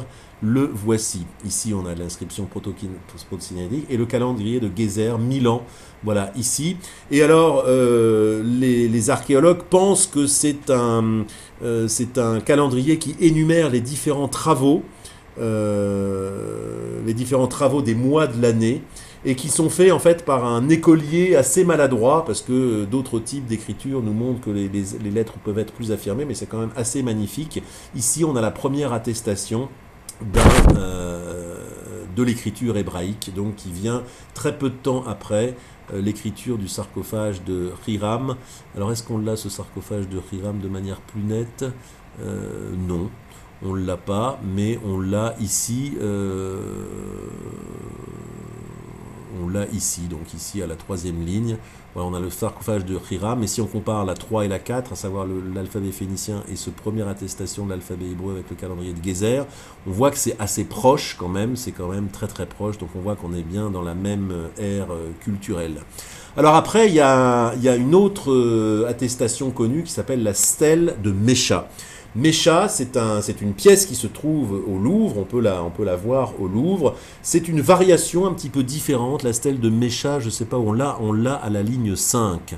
Euh, alors on voit que les signes sont un petit peu différents, mais quand même très proches. Hein. La petite vague reste la petite vague. Euh, si on part de l'Aleph, ici, euh, bah, ça reste quand même très proche de l'Aleph. Ici, on a ces lettres voilà, qui restent repliées vers elles-mêmes. ici, pareil. Euh, voilà, il y a des petites différences ici ou là d'orientation. Euh, ici, c'est plus arrondi déjà. Euh, mais ça reste quand même très très proche. En tout cas, on a une très belle attestation et on va voir qu'elle est, qu'elle est, qu'elle est claire en effet. La stèle de Mécha qui est beaucoup plus grande, enfin avec un texte beaucoup plus, beaucoup plus complet, la voilà. Elle date du 9e siècle. Elle, elle est rédigée en langage moabite, donc qui est l'une des variations régionales de, de l'hébreu et elle raconte la victoire du roi de Moab, justement, contre les troupes euh, de Yoram d'Israël. Euh, je reviens ici à la, caméra. Elle raconte la, victoire du roi de Moab qui se pavane et se prévale d'avoir vaincu et à la fois le roi d'Israël et de Juda, euh, Yoram d'Israël. Et donc avec cette très très belle écriture, mais dont on sait que c'est juste un rameau local de, l'hébreu, et avec une écriture très affirmée sur un document euh, de, grande taille. Enfin, la stèle de Mécha elle-même est très petite, mais le texte est très, est très fourni.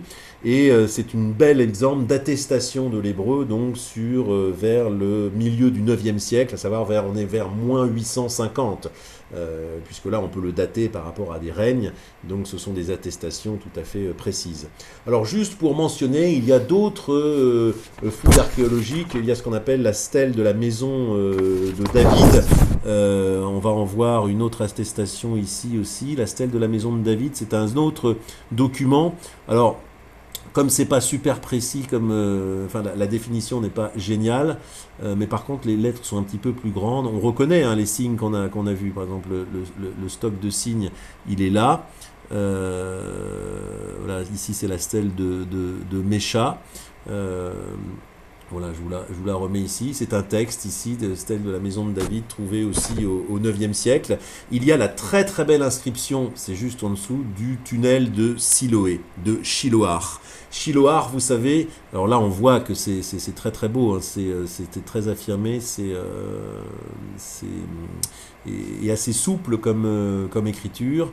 Et euh, c'est en plus très, très, très émouvant sur le plan historique, puisque euh, c'est l'attestation du tunnel, du fameux tunnel euh, construit par Ézéchias. Ézéchias est assiégé par les troupes assyriennes, à la suite d'un miracle d'ailleurs, d'une sorte de peste qui a envahi le, camp assyrien. Les Assyriens qui s'apprêtaient à détruire Jérusalem en moins 701 lèvent le camp brusquement, donc à la suite d'une épidémie. Et euh, le roi Ézéchias avait fait construire un tunnel, il avait essayé de détourner les eaux du Gihon. Vous savez, le Gihon, c'est ce petit ruisseau qui coule euh, sur une des falaises, enfin pas une des falaises, une des collines de, Jérusalem, aujourd'hui en dehors de la ville, pour la faire rentrer dans, la muraille, au cas justement où assiégé, euh, il aurait été ils auraient manqué d'eau. Et donc ce sont euh, deux équipes d'ouvriers égyptiens, un petit peu comme le tunnel sous la Manche, qui se sont rencontrés euh, à un moment et le percement justement du tunnel, un, ça se visite, hein, c'est de la terre, c'est de la pierre, euh, de la pierre très très dure, on imagine l'exploit. et eh bien au moment où les deux équipes d'ouvriers se sont rencontrés, ils ont laissé une attestation, un texte, qui est donc cette fameuse euh, inscription du tunnel de, de très très émouvante et surtout très très belle en termes euh, d'écriture. Alors, si on fait un, résumé, parce que vous allez me dire, mais euh, quand même, tous ces caractères qui sont très très beaux, ça ressemble assez peu finalement aux lettres, aux lettres carrées. Enfin, je ne reconnais pas complètement mes, lettres carrées.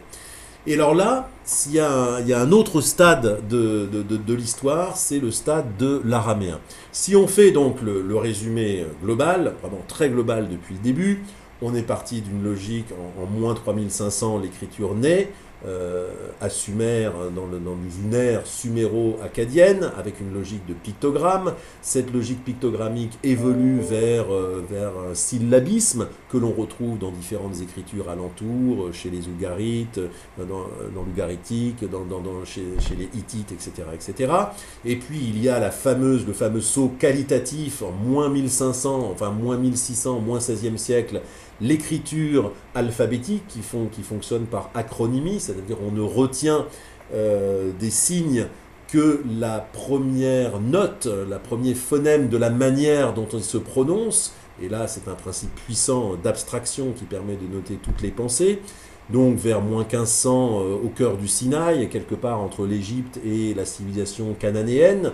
Euh, ces écritures se différencient de manière régionale pour aboutir à un premier alphabet très très formaté qui est l'alphabet phénicien que l'on retrouve sur le sarcophage de Hiram vers moins 1000 et puis comme une branche locale reliée initialement au proto-sinaïtique mais quand même euh, évoluant à partir de l'alphabet phénicien l'hébreu qui euh, est attesté vers moins 900 à travers euh, principalement les, trois plus belles attestations. On a vu c'est le premier calendrier de Gézer le plus ancien moins 950 la stèle de Mécha, moins 850, et puis euh, l'inscription du tunnel de Shiloar euh, sous Ézéchias en moins 701. Euh, et donc on arrive à une belle écriture qu'on appellera paléo-hébraïque, en tout cas, non, paléo-hébraïque c'est plutôt avant, mais encore ancienne, mais ayant évolué vers une belle, vers une belle écriture, donc de celle du tunnel de Siloé que l'on vient de voir. Et là, à ce moment-là, il se produit une deuxième, non pas révolution, mais un deuxième fait qui va être absolument majeur pour l'histoire des formes de l'écriture hébraïque, c'est l'exil.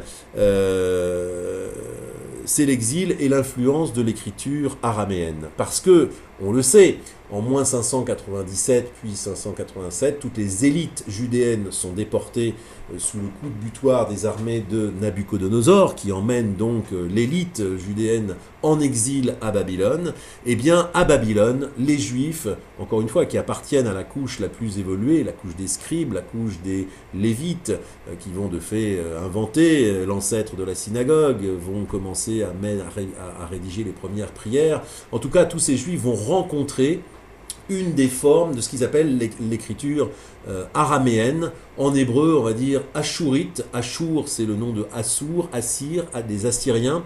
De fait, c'est pas totalement exact sur le plan historique, mais en tout cas, Ktav Ashuri, l'écriture ashurite en hébreu, va désigner l'araméen. Alors, pour bien comprendre l'araméen, puis après on va le voir sur les tableaux euh, graphiquement comment ça s'exprime, l'araméen est une langue utilisée par les araméens, qui sont toutes ces tribus semi-nomades qui ont euh, nomadisé justement dans le nord de la Syrie, dans un arc euh, dans le sud de la Turquie, enfin qui sont à la pointe du sommet fertile, hein, le sommet fertile qui part du sud de l'Irak, qui remonte jusqu'à Haran au nord pour redescendre sur la plaine israélienne, c'est ça le, le croissant fertile. Toutes ces tribus mésopotamiennes ont nomadisé vers euh, moins, moins, moins 1300, moins 1200, etc. Avec des petits coups de boutoir, ils ont été assimilés comme des gens dangereux par les empires constitués, etc. Mais ils ont joué euh, le rôle que que l'on attribue aux Phéniciens qui étaient les maîtres des mers et donc de diffuseurs des cultures sur les mers, quelque part les Araméens ont joué ce rôle au Moyen-Orient, circulant sans cesse, ils ont fait circuler les idées et ils ont fait circuler dans toute cette ère moyenne-orientale euh, l'alphabet euh, proto-cananéen, l'alphabet proto-paléo-hébraïque, etc. Et euh, à travers leur utilisation, ils ont fait évoluer les lettres, on va, voir on va le voir graphiquement, et c'est cette évolution de l'écriture araméenne que les juifs exilés à Babylone vont rencontrer et qu'ils vont ramener en Israël. Ça, c'est le maillon manquant qui va expliquer en fait l'hébreu carré tel, tel qu'on l'a aujourd'hui. Avant d'en venir, euh, de voir effectivement euh, comment se passe ce retour, euh, ce retour d'exil, on va justement voir les formes les formes de cette écriture araméenne. Et là, là c'est assez, euh, assez, assez parlant. Euh, alors, qu'est-ce qui est, qu'est-ce le, meilleur, euh, le meilleur exemple? Hmm, Le meilleur exemple. Voilà. Ça, ça va nous parler parce que l'araméen, c'est donc la ligne 8. Euh, est-ce qu'il n'y en a pas une autre qui serait pas mal non plus? Non, la ligne 8 est pas mal. La ligne 8, c'est, euh, elle est tirée d'un papyrus euh. Elle, elle manifeste ce qu'est l'écriture araméenne. Alors encore une fois, l'écriture araméenne, les Araméens ont repris l'alphabet euh, qui émerge en tant que tel vers moins 1100, moins 1000, de manière euh, très très déterminée à travers euh, cet alphabet phénicien, le, sarcophage de Hiram qu'on a vu tout à l'heure. Mais leur écriture va considérablement évoluer graphiquement. On a vu qu'entre les lignes 1, 2, 3, 4, 5, il y a des petites variations, mais bon, c'est pas des variations terribles.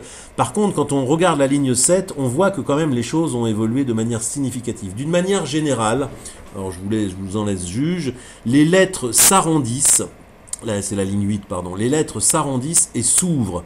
Par exemple, ici, euh, on a des signes fermés ici, ici ça s'ouvre, voilà, ça devient presque un bait. Ici ça s'écarte, on avait un petit pieu ici, ici on a un, angle beaucoup plus grand. Ici on avait une sorte de triangle refermé sur lui-même qu'on voit dans les attestations supérieures, etc. Et là ça s'ouvre aussi. Ici c'est plus arrondi. Ici, ça, s'écarte aussi. Enfin voilà, il y a une plus grande, on va pas dire fantaisie, mais euh, euh, les lettres en général s'arrondissent et s'écartent euh, je, regardais le, mauvais endroit, mais c'est encore plus flagrant effectivement dans la ligne 8. Ici, voilà, ici on a une belle courbe. Ici, on va avoir ce qui, va être le même. On voit d'où le même part. Euh, on voit une petite zigzag, etc. Voilà, le même qui veut dire maim haut. Donc on désignait, on voit que dans le pictogramme original, c'était l'onde, l'eau qui était dessinée, etc. Il y a cette fameuse rotation à 90 degrés. Et puis après, les, les lettres se, à la fois se simplifient graphiquement, et puis s'arrondissent et s'ouvrent. Et on arrive, on arrive ici à cette lettre ici. Et on voit que c'est un petit peu le cas de tous les, de tous les, caractères. Ici, euh, c'est beaucoup plus, c'est à la fois beaucoup plus simple, à la fois beaucoup plus euh, arrondi. Voilà, c'est euh, le, mot que je, je, cherchais, arrondi, et à la fois plus ouvert. Toutes les lettres sont ouvertes par rapport à leurs prédécesseurs. Ici, on a le shin qu'on reconnaît de manière parfaite. Et donc ça, euh, c'est l'écriture araméenne que les Araméens font évoluer de manière rapide dans leur déplacement incessant au, euh, au Moyen-Orient. Et c'est cette écriture donc que rencontrent les exilés hébreux, et c'est cette écriture qui ramène en Israël, puisque euh, après l'édit de Cyrus le Grand, ils disent, eh bien, vous pouvez rentrer chez vous, vous pouvez reconstruire le temple. Le temple, de fait, détruit en moins 587, 597, euh, va être reconstruit et réinauguré en moins 414. Euh, donc, sous la houlette euh, précédente de Néhémie, de Esdras, tous ces grands réformateurs de la qui ont participé à la, à la, Renaissance. Et on dit que Esdras, donc, a ramené, a ramené avec lui euh, Ktav Ashuri, et c'est ce qui en fait le deuxième donateur. Quand je vous ai lu cette, cette première phrase, on a ouvert le cours en disant Ezra aurait mérité de euh, donner la Torah à Israël, mais Moïse l'avait déjà fait, mais par contre c'est lui qui l'a changé, puisqu'il a ramené Ktav Ashuri, il a ramené l'écriture araméenne, et donc il a changé en fait cette, euh, cette Torah. Donc il est crédité pratiquement d'un deuxième don euh, de la Torah. Ce qui est intéressant, c'est que euh, du coup, quand ils reviennent en Israël, il y a deux systèmes qui vont coexister. C'est un petit peu difficile à comprendre, mais il y a ce système du paléo-hébreu euh, tiré de l'alphabet phénicien qui a évolué, qui a évolué, qu'on a vu dans la stèle de Mécha, qu'on a vu dans le tiroir dans, le, dans le tunnel de Siloé, et qui va continuer son évolution. Et puis, il va y avoir en concurrence, en même temps, l'écriture araméenne qui elle aussi est issue de la même source que l'écriture paléo-hébraïque. Elles ont évolué simplement différemment à des endroits différents, mais on a vu que l'écriture araméenne avait évolué d'une manière beaucoup plus significative. Si on compare le différentiel entre écriture euh, d'Ézéchias, moins 7e siècle, avec, euh, mettons, euh, Hiram, moins 1000, il y a beaucoup moins d'évolution qu'entre l'araméen, justement, qui lui aussi vient de cette même source phénicienne et donc plus en avant proto-sinaïtique, mais elle a évolué dans les formes beaucoup plus rapidement, et ces deux formes vont se retrouver en Israël quelque part en concurrence. C'est ça c'est ça qui est intéressant. Et quelque part, il, va y avoir une compétition sur les derniers siècles, on va dire, d'indépendance, en tout cas hébraïque, euh, moins 4, moins 3, moins 2. Euh, et l'évolution du paléo-hébreu va, euh, évoluer sur les manuscrits de la mer morte. Alors, de fait, c'est l'écriture araméenne qu'on va appeler carré, hein, qui ressemble vraiment très très fortement à nos, à nos caractères. Je vous, je vous le remontre encore une fois il est évident que là, dans la ligne 8, on est très proche de Aleph, Bet, Gimel, Daled, Hevav, on reconnaît le Mem, on reconnaît le Nun, euh, on reconnaît le Shin, on est très très près de ce qui va devenir l'hébreu carré. Donc l'hébreu carré, en fait, c'est l'évolution de l'écriture araméenne rencontrée par les exilés de Babylone qu'ils ramènent en terre d'Israël, là où en fait euh, l'écriture précédente, l'écriture paléo-hébraïque, euh, va, elle, continuer euh, d'évoluer. Euh, d'évoluer jusqu'à, alors je ne sais pas si on a le terme, le terme de l'évolution finale. Euh, non, on n'a pas le terme de l'évolution finale, mais le terme de l'évolution, si normalement on devrait l'avoir. non, on l'a pas là. Le terme de l'évolution finale, c'est l'écriture très très belle qu'on trouve dans les manuscrits de la mer morte. On voit dans ce très beau euh, rouleau d'Isaïe, on voit les, ultimes feux de cette écriture paléo-hébraïque qui euh, a continué, euh, bien que concurrencée par l'écriture, l'hébreu carré, concurrencé par l'écriture araméenne, va continuer son évolution jusqu'à mourir en fait quelque part dans les manuscrits hébraïques. C'est aussi pour un des intérêts des manuscrits euh, de la mer morte, c'est qu'ils euh, attestent d'un certain nombre de textes qui nous disent beaucoup euh, justement sur la formation du, canon, et puis aussi beaucoup sur, non pas les hérésies, mais en tout cas sur les, sur les conceptions différentes du judaïsme, mais aussi en termes d'histoire de l'écriture, il représente le terminus ad quo, vraiment le stade final de l'écriture euh, justement de ce paléo-hébreu euh, né du calendrier euh, phénicien et du proto-sinaïtique, parce que c'est encore une fois, c'est Ktav Ashurit, l'hébreu carré, ramené par les exilés de Babylone, donc cette évolution de l'écriture araméenne qui va finalement s'imposer et donner, l'hébreu carré, qui va rester, le, le seul. Alors, cet hébreu carré va être va être revêtu euh, d'autorité, hein, en quelque sorte. Ce qui va lui donner un coup aussi, c'est que euh, ce qu'on appelait les sophrimes, on avait vu ça dans le, dans, le cours sur les différentes, différentes générations de, sages. On sait que les sophrimes, c'est tous ces sages qui, collectivement, anonymes, vont s'occuper justement de finaliser, enfin, non pas de finaliser le texte de la Torah, mais de compter les lettres de la Torah, de distinguer les versets entre eux. Alors la numérotation est beaucoup plus tardive. Dans la Bible olivetan au XVe siècle, en, Europe, mais euh, on savait où commençaient les phrases, puisque le texte de la Torah est écrit en continu. On savait où commençaient les phrases, on savait où commençaient les chapitres. Euh, il y a la division, bien sûr, en différentes parachas euh, qui commencent à, émerger. Euh, donc tout ce travail d'éditeur du texte fait par les sophrimes va, bien sûr, contribuer à instaurer cette écriture carrée ramenée, de Babylonie comme étant la, seule, la seule travaillée, en tout cas, par les, autorités. Et puis, on le sait, ils vont justement pour euh, indiquer le début des phrases, ils vont inventer cette histoire de lettres finales. Vous savez que euh, le même final, le nun final, le p final, euh, toutes ces lettres qui ont été inventées pour justement marquer les limites du texte, qui sinon se lit en continu, va contribuer aussi à travailler ces formes de lettres, va contribuer à, rendre la ktav ashurit, l'hébreu carré, comme la seule disponible et intéressante. Voilà donc d'où vient l'hébreu carré. L'hébreu carré vient de très très loin du proto-sinaïtique, euh, par son chaînon intermédiaire, l'alphabet phénicien. Euh, et puis euh, il, vient en fait d'une évolution aussi de cet alphabet phénicien, mais différente du paléo-hébreu, qui va mourir de sa belle mort dans les manuscrits de, de la mer morte, il vient en fait de cette évolution rapide que les Araméens ont su donner à, cette, euh, à, ces, à ces, caractères proto-sinaïtiques. Et donc c'est euh, ça qui va donner l'hébreu carré à, notre ère. Enfin, je, autour du, du, premier siècle.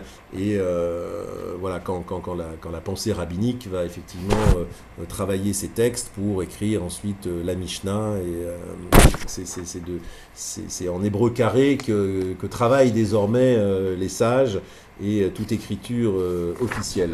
Alors c'est pas c'est pas le terme bien sûr de l'évolution de l'écriture hébraïque parce que vous allez me dire mais oui non mais alors la cursive d'où elle vient etc. Après la destruction du temple bon bah c'est la fin de la civilisation matérielle et de et, des centres de production bien sûr en Israël mais l'écriture donc cette Tavashurit cet hébreu carré va aussi évoluer dans euh, dans différentes évolutions. D'abord dans, dans, différentes aires culturelles l'ère orientale, euh, l'ère yéménite, persane, séfarade, ashkénaze. On va voir qu'on on le sait qu'il y a des écritures de type euh, différents. Euh, elle va se spécifier selon divers usages.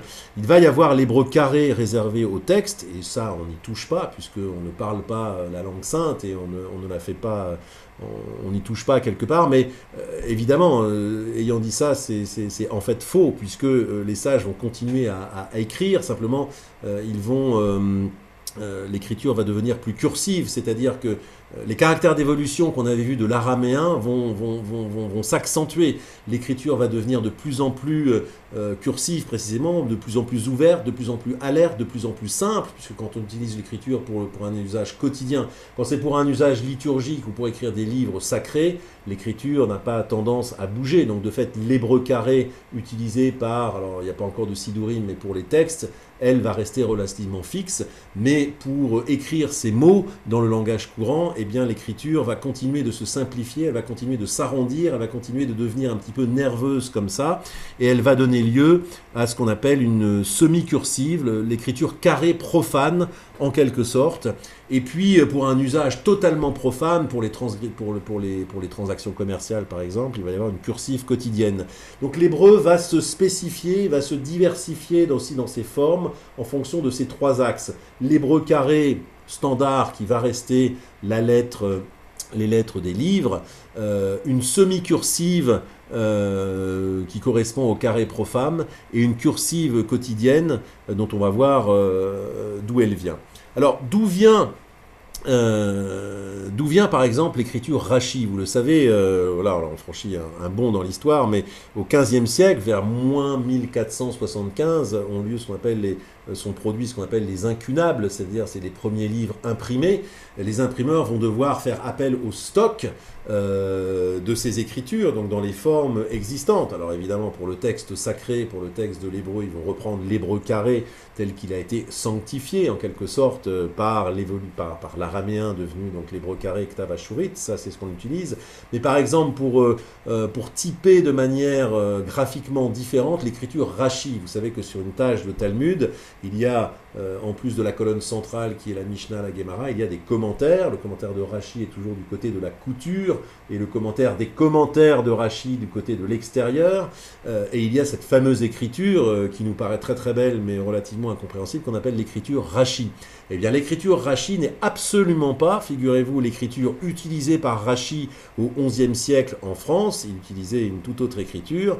C'est euh, l'écriture semi-cursive séfarade, utilisée dans l'ère dans séfarade. C'est-à-dire que les imprimeurs, les premiers imprimeurs, ont voulu aller chercher des, des, typographies, des polices de caractères intéressantes, et ils se sont servis de la semi-cursive séfarade pour écrire, pour imprimer les commentaires de Rashi et leur donner donc une, typographie différente du texte de la colonne centrale de la Mishnah, de la Gemara. Donc ce qu'on appelle écriture Rashi, en fait, est un très très bon témoignage de cette évolution du carré standard euh, c'était simplement la semi-cursive séfarade. Et puis vous allez me dire, j'ai toujours pas répondu à cette question, oui, mais nos cursives à nous, là, celles qu'on utilise, celles que vous utilisez certainement pour noter ce cours en ce moment même, eh bien, elles dérivent, elles, de la cursive ashkénaze, tout simplement pour une question de euh, matériel, euh, d'objets différents, d'objets de, traçage différents. Les séfarades utilisaient le kalam, toujours, avec un bout de spatule plat,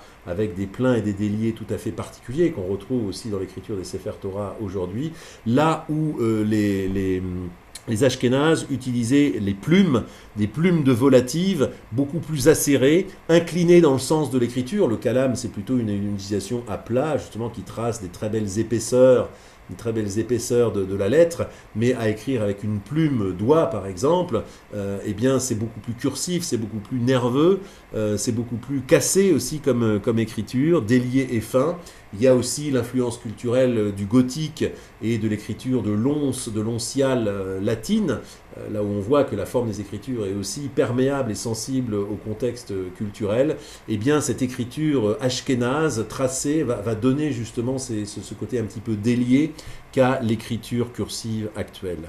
Donc, pour nous résumer, après la victoire définitive de l'hébreu carré sur l'évolution du paléo-hébraïque né, euh, mort de sa belle mort euh, dans les manuscrits euh, de la mer morte. L'hébreu carré va rester carré pour l'écriture enfin, des, livres saints, des livres sacrés, et puis plus tard, vers le Xe siècle, pour les sidurim, les livres de prière, va évoluer de manière cursive, de manière différente selon les aires culturelles, une semi-cursive séfarade dans l'ère séfarade, dont on a un très bel exemple dans l'écriture Rashi, qui encore une fois n'est pas celle qu'utilisait Rachi, euh, et puis euh, les cursives proprement dites qui euh, se sont transmises jusqu'à nous, qui est en fait l'évolution de la cursive ashkénaze du fait de ce traçage particulier rendu par des plumes de volatiles avec cette écriture un petit peu acérée, rapide, nerveuse et, et déliée. donc voilà un petit peu, voilà un petit peu le le stade ultime euh, de, cette écriture hébraïque qui de fait euh, est resté aussi un peu congelé pendant des millénaires, qui a été euh, ressorti ressorti avec la naissance de, l'État d'Israël, enfin qui a révivifié l'hébreu en tant que langue cette fois-ci. Les prototypes de l'hébreu carré étaient restés dans, dans, les sidurim, mais de fait, la cursive a, connu évidemment une reviviscence avec euh, le fait d'être pratiquée au quotidien, et nul doute d'ailleurs qu'elle continuera d'évoluer. Certainement que la langue hébraïque, certainement, est en train, de ses caractères, est en train d'évoluer du fait de sa pratique en Israël. C'est absolument certain. On n'a pas assez de recul, parce que évidemment ces phénomènes se jugent sur des, des centaines, voire des milliers d'années, mais, euh, mais nul doute qu'elle est en train d'évoluer par la pratique massive et euh, démocratique euh, de, cette, de cette langue.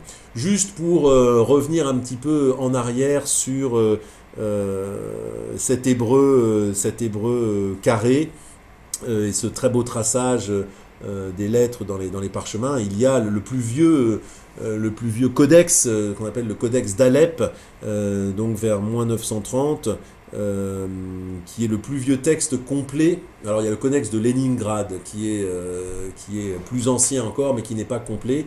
Le premier, euh, la première Torah complète écrite avec les caractères calligraphiés et ponctuée de manière exacte par les sophrim qui sont, on le sait, on avait vu qu'il y avait eu différents systèmes de notation, le système de Tibériade, euh, des systèmes concurrents. De fait, c'est le système de Tibériade qui va s'imposer avec une personnalité, euh, on appelle Aaron Ben Asher, qui est euh, l'évolution de ces sophrim, donc qui sur plus de 1000 ans ont travaillé le texte, ont compté les lettres, ont séparé les versets, ont distingué les parachiotes, etc., et ont aussi fixé l'écriture même des mots.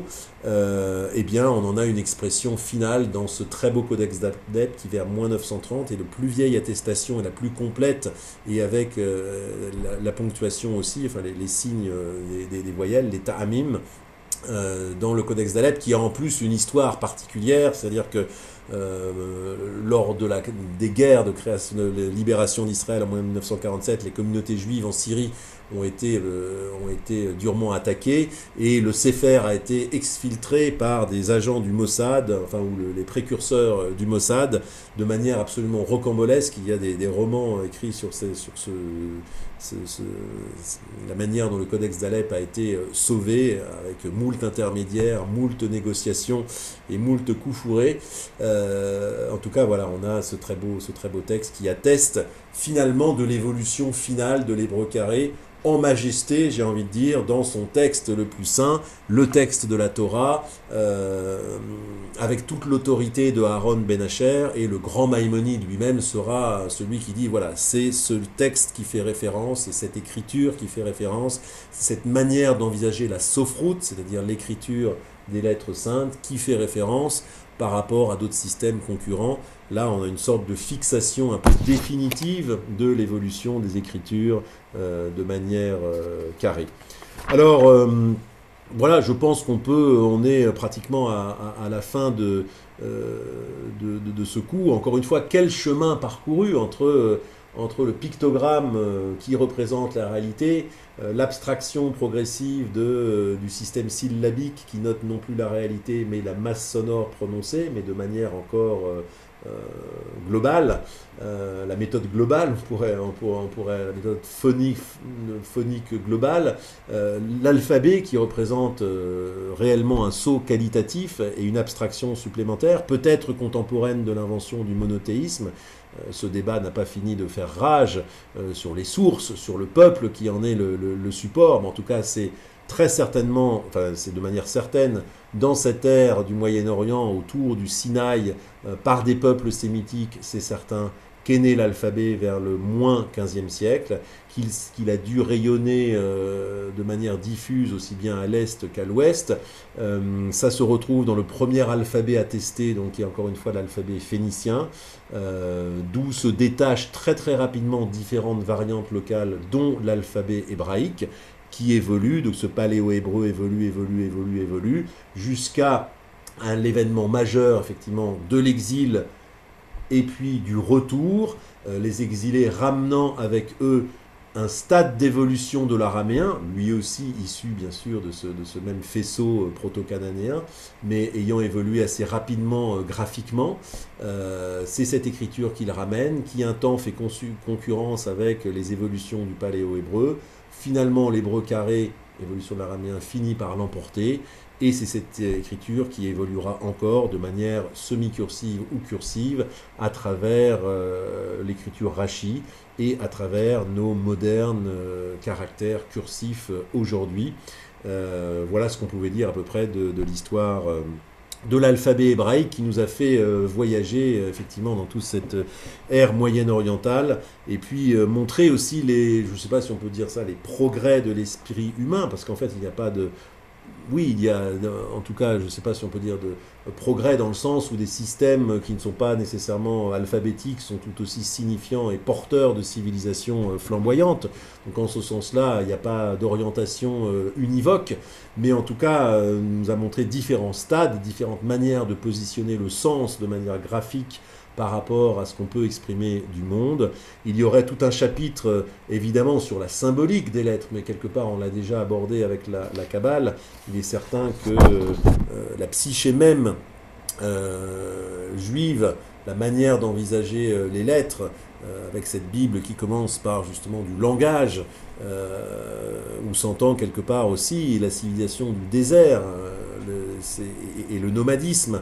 Euh, donc on voit que des notions culturelles très fortes, l'abstraction du monothéisme, le nomadisme, la, fulgurance de la parole euh, dans le désert, c'est comme ça finalement qu'est présentée la Torah. Alors évidemment, on n'a aucun témoignage euh, géographique et je dirais historique, mais c'est quand même intéressant que cette Torah ait été donnée dans le désert. Ça nous dit aussi quelque part un certain rapport du langage avec la réalité. C'est pas dans une réalité complexe, foisonnante, c'est dans l'abstraction pure du désert que se fait entendre la parole avec l'abstraction qui va avec, avec, euh, avec l'innovation qui va avec le nomadisme. Tout ça sont, sont des, des notions liées fort intéressante pour comprendre l'alphabet et du coup aussi euh, la mystique subséquente euh, sur les lettres, les formes des lettres étant euh, les 22 lettres hébraïques étant, comme je l'avais dit pour la Kabbale, des formes d'énergie. Quand on les regarde graphiquement, ces lettres, c'est vrai qu'elles nous parlent chacune de manière différente. Certaines naissent d'en haut et tirent vers le bas, connectent l'en haut et l'en bas. Certaines s'étalent, certaines constituent un espace, un espace plus ou moins ouvert, plus ou moins fermé. Il y a beaucoup de choses à lire et à entendre dans ces, dans ces lettres euh, hébraïques, euh, et donc toute une toute une projection euh, mentale. Encore une fois, ce qui est formidable, c'est qu'effectivement, elle, porte l'histoire humaine, la psyché. Si l'on revient à Aleph, on voit très nettement, cette fois, je vais partager une autre petite image amusante. Euh, c'est un dessin que, voilà, que j'ai réussi à prendre ici. Voilà, si on prend l'évolution du mot Adonai, par exemple, euh, Yud, He, Vav, E. non, d'ailleurs, c'est une autre c'est une autre lettre ici, c'est Dvora, ici, qui, qui est écrit Déborah. Donc, donc, voilà, ici, si on est dans les hiéroglyphes, ou l'écriture, euh, oui, alors ils ont pris ça des, hiéroglyphes, donc voilà, on est chez les Égyptiens. Ici, on est dans le proto-sinaïtique. On voit ici qu'on a une filiation hein, euh, des, de chaque signe. Ici, ce qui deviendra le dalet, donc qui représente un, poisson, dag. Un dag, c'est le poisson, donc selon le principe acrophonique, euh, on prend la premier phonème, le de du dag. Euh, ça devient cette espèce de signe ici qui se spécifie en un dalet ici. Et puis ici, on voit que les lettres évoluent effectivement. Euh, donc c'est assez amusant de, voyager. Ce que je veux dire, c'est que euh, les signes aujourd'hui portent encore la, la trace. Bait, c'est la maison. C'est vrai quand on voit euh, quand on voit le, dessin d'un bait, on est très certainement dans un signe qui au départ connotait une sorte d'enclos. Zain, c'est à la fois le crochet, donc euh, l'arme fondamentale, et c'est aussi le sexe. Euh, Aleph, le, donc la première lettre, c'est effectivement quand on voit l'arrondi et, la ligne du Aleph, c'était effectivement une tête de bœuf qui a été renversée et dont les cornes sont mises sur le côté. Et donc on voit combien ça charrie euh, l'histoire des hommes, ça charrie quelque chose de euh, dans les lettres. Il y a une mémoire induite, il y a une psyché induite des lettres, et c'est aussi l'un des souffles de la mystique s'appuie quelque part sur cette mémoire plurimillénaires des lettres, qui ne sont encore une fois pas seulement des signes destinés à fixer une langue. On en revient à la première distinction euh, euh, picturalité, gestualité euh, établie par Yves-Jean Calvé, à savoir que les lettres, les signes, certes, servent à noter une masse sonore, mais charrie une autre histoire totalement indépendante, qui est l'histoire des signes purement visuels, qui est l'histoire des réalités matérielles vécues par les hommes, et c'est quelque chose qui nous parle, évidemment. C'est pas un strict euh, système technique, la langue, c'est aussi un véhicule de mémoire, et c'est ça qui est absolument merveilleux euh, dans l'hébreu, qui a su garder donc une puissance analytique euh, parce qu'effectivement, cette puissance analytique, elle est portée par les langues sémites, qui ne donnent que les consonnes, et qui sont animées euh, par des voyelles.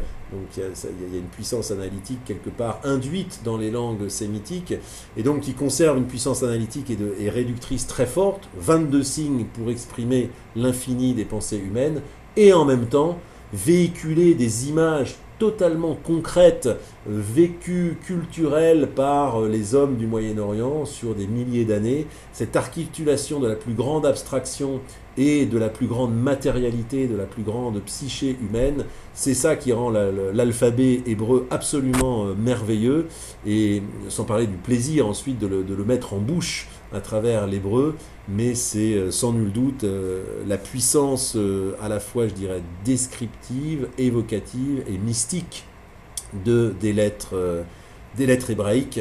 Voilà ce qu'on pouvait dire de manière cursive, sans, sans, jeu de mots en tout cas, sur, sur l'histoire des, des alphabets.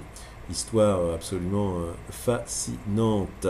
Chers amis, je, voilà, je vais à nouveau partager voilà, je défais les micros. On a, euh, quelques minutes pour euh, euh, sans doute converser. Vous pouvez désengager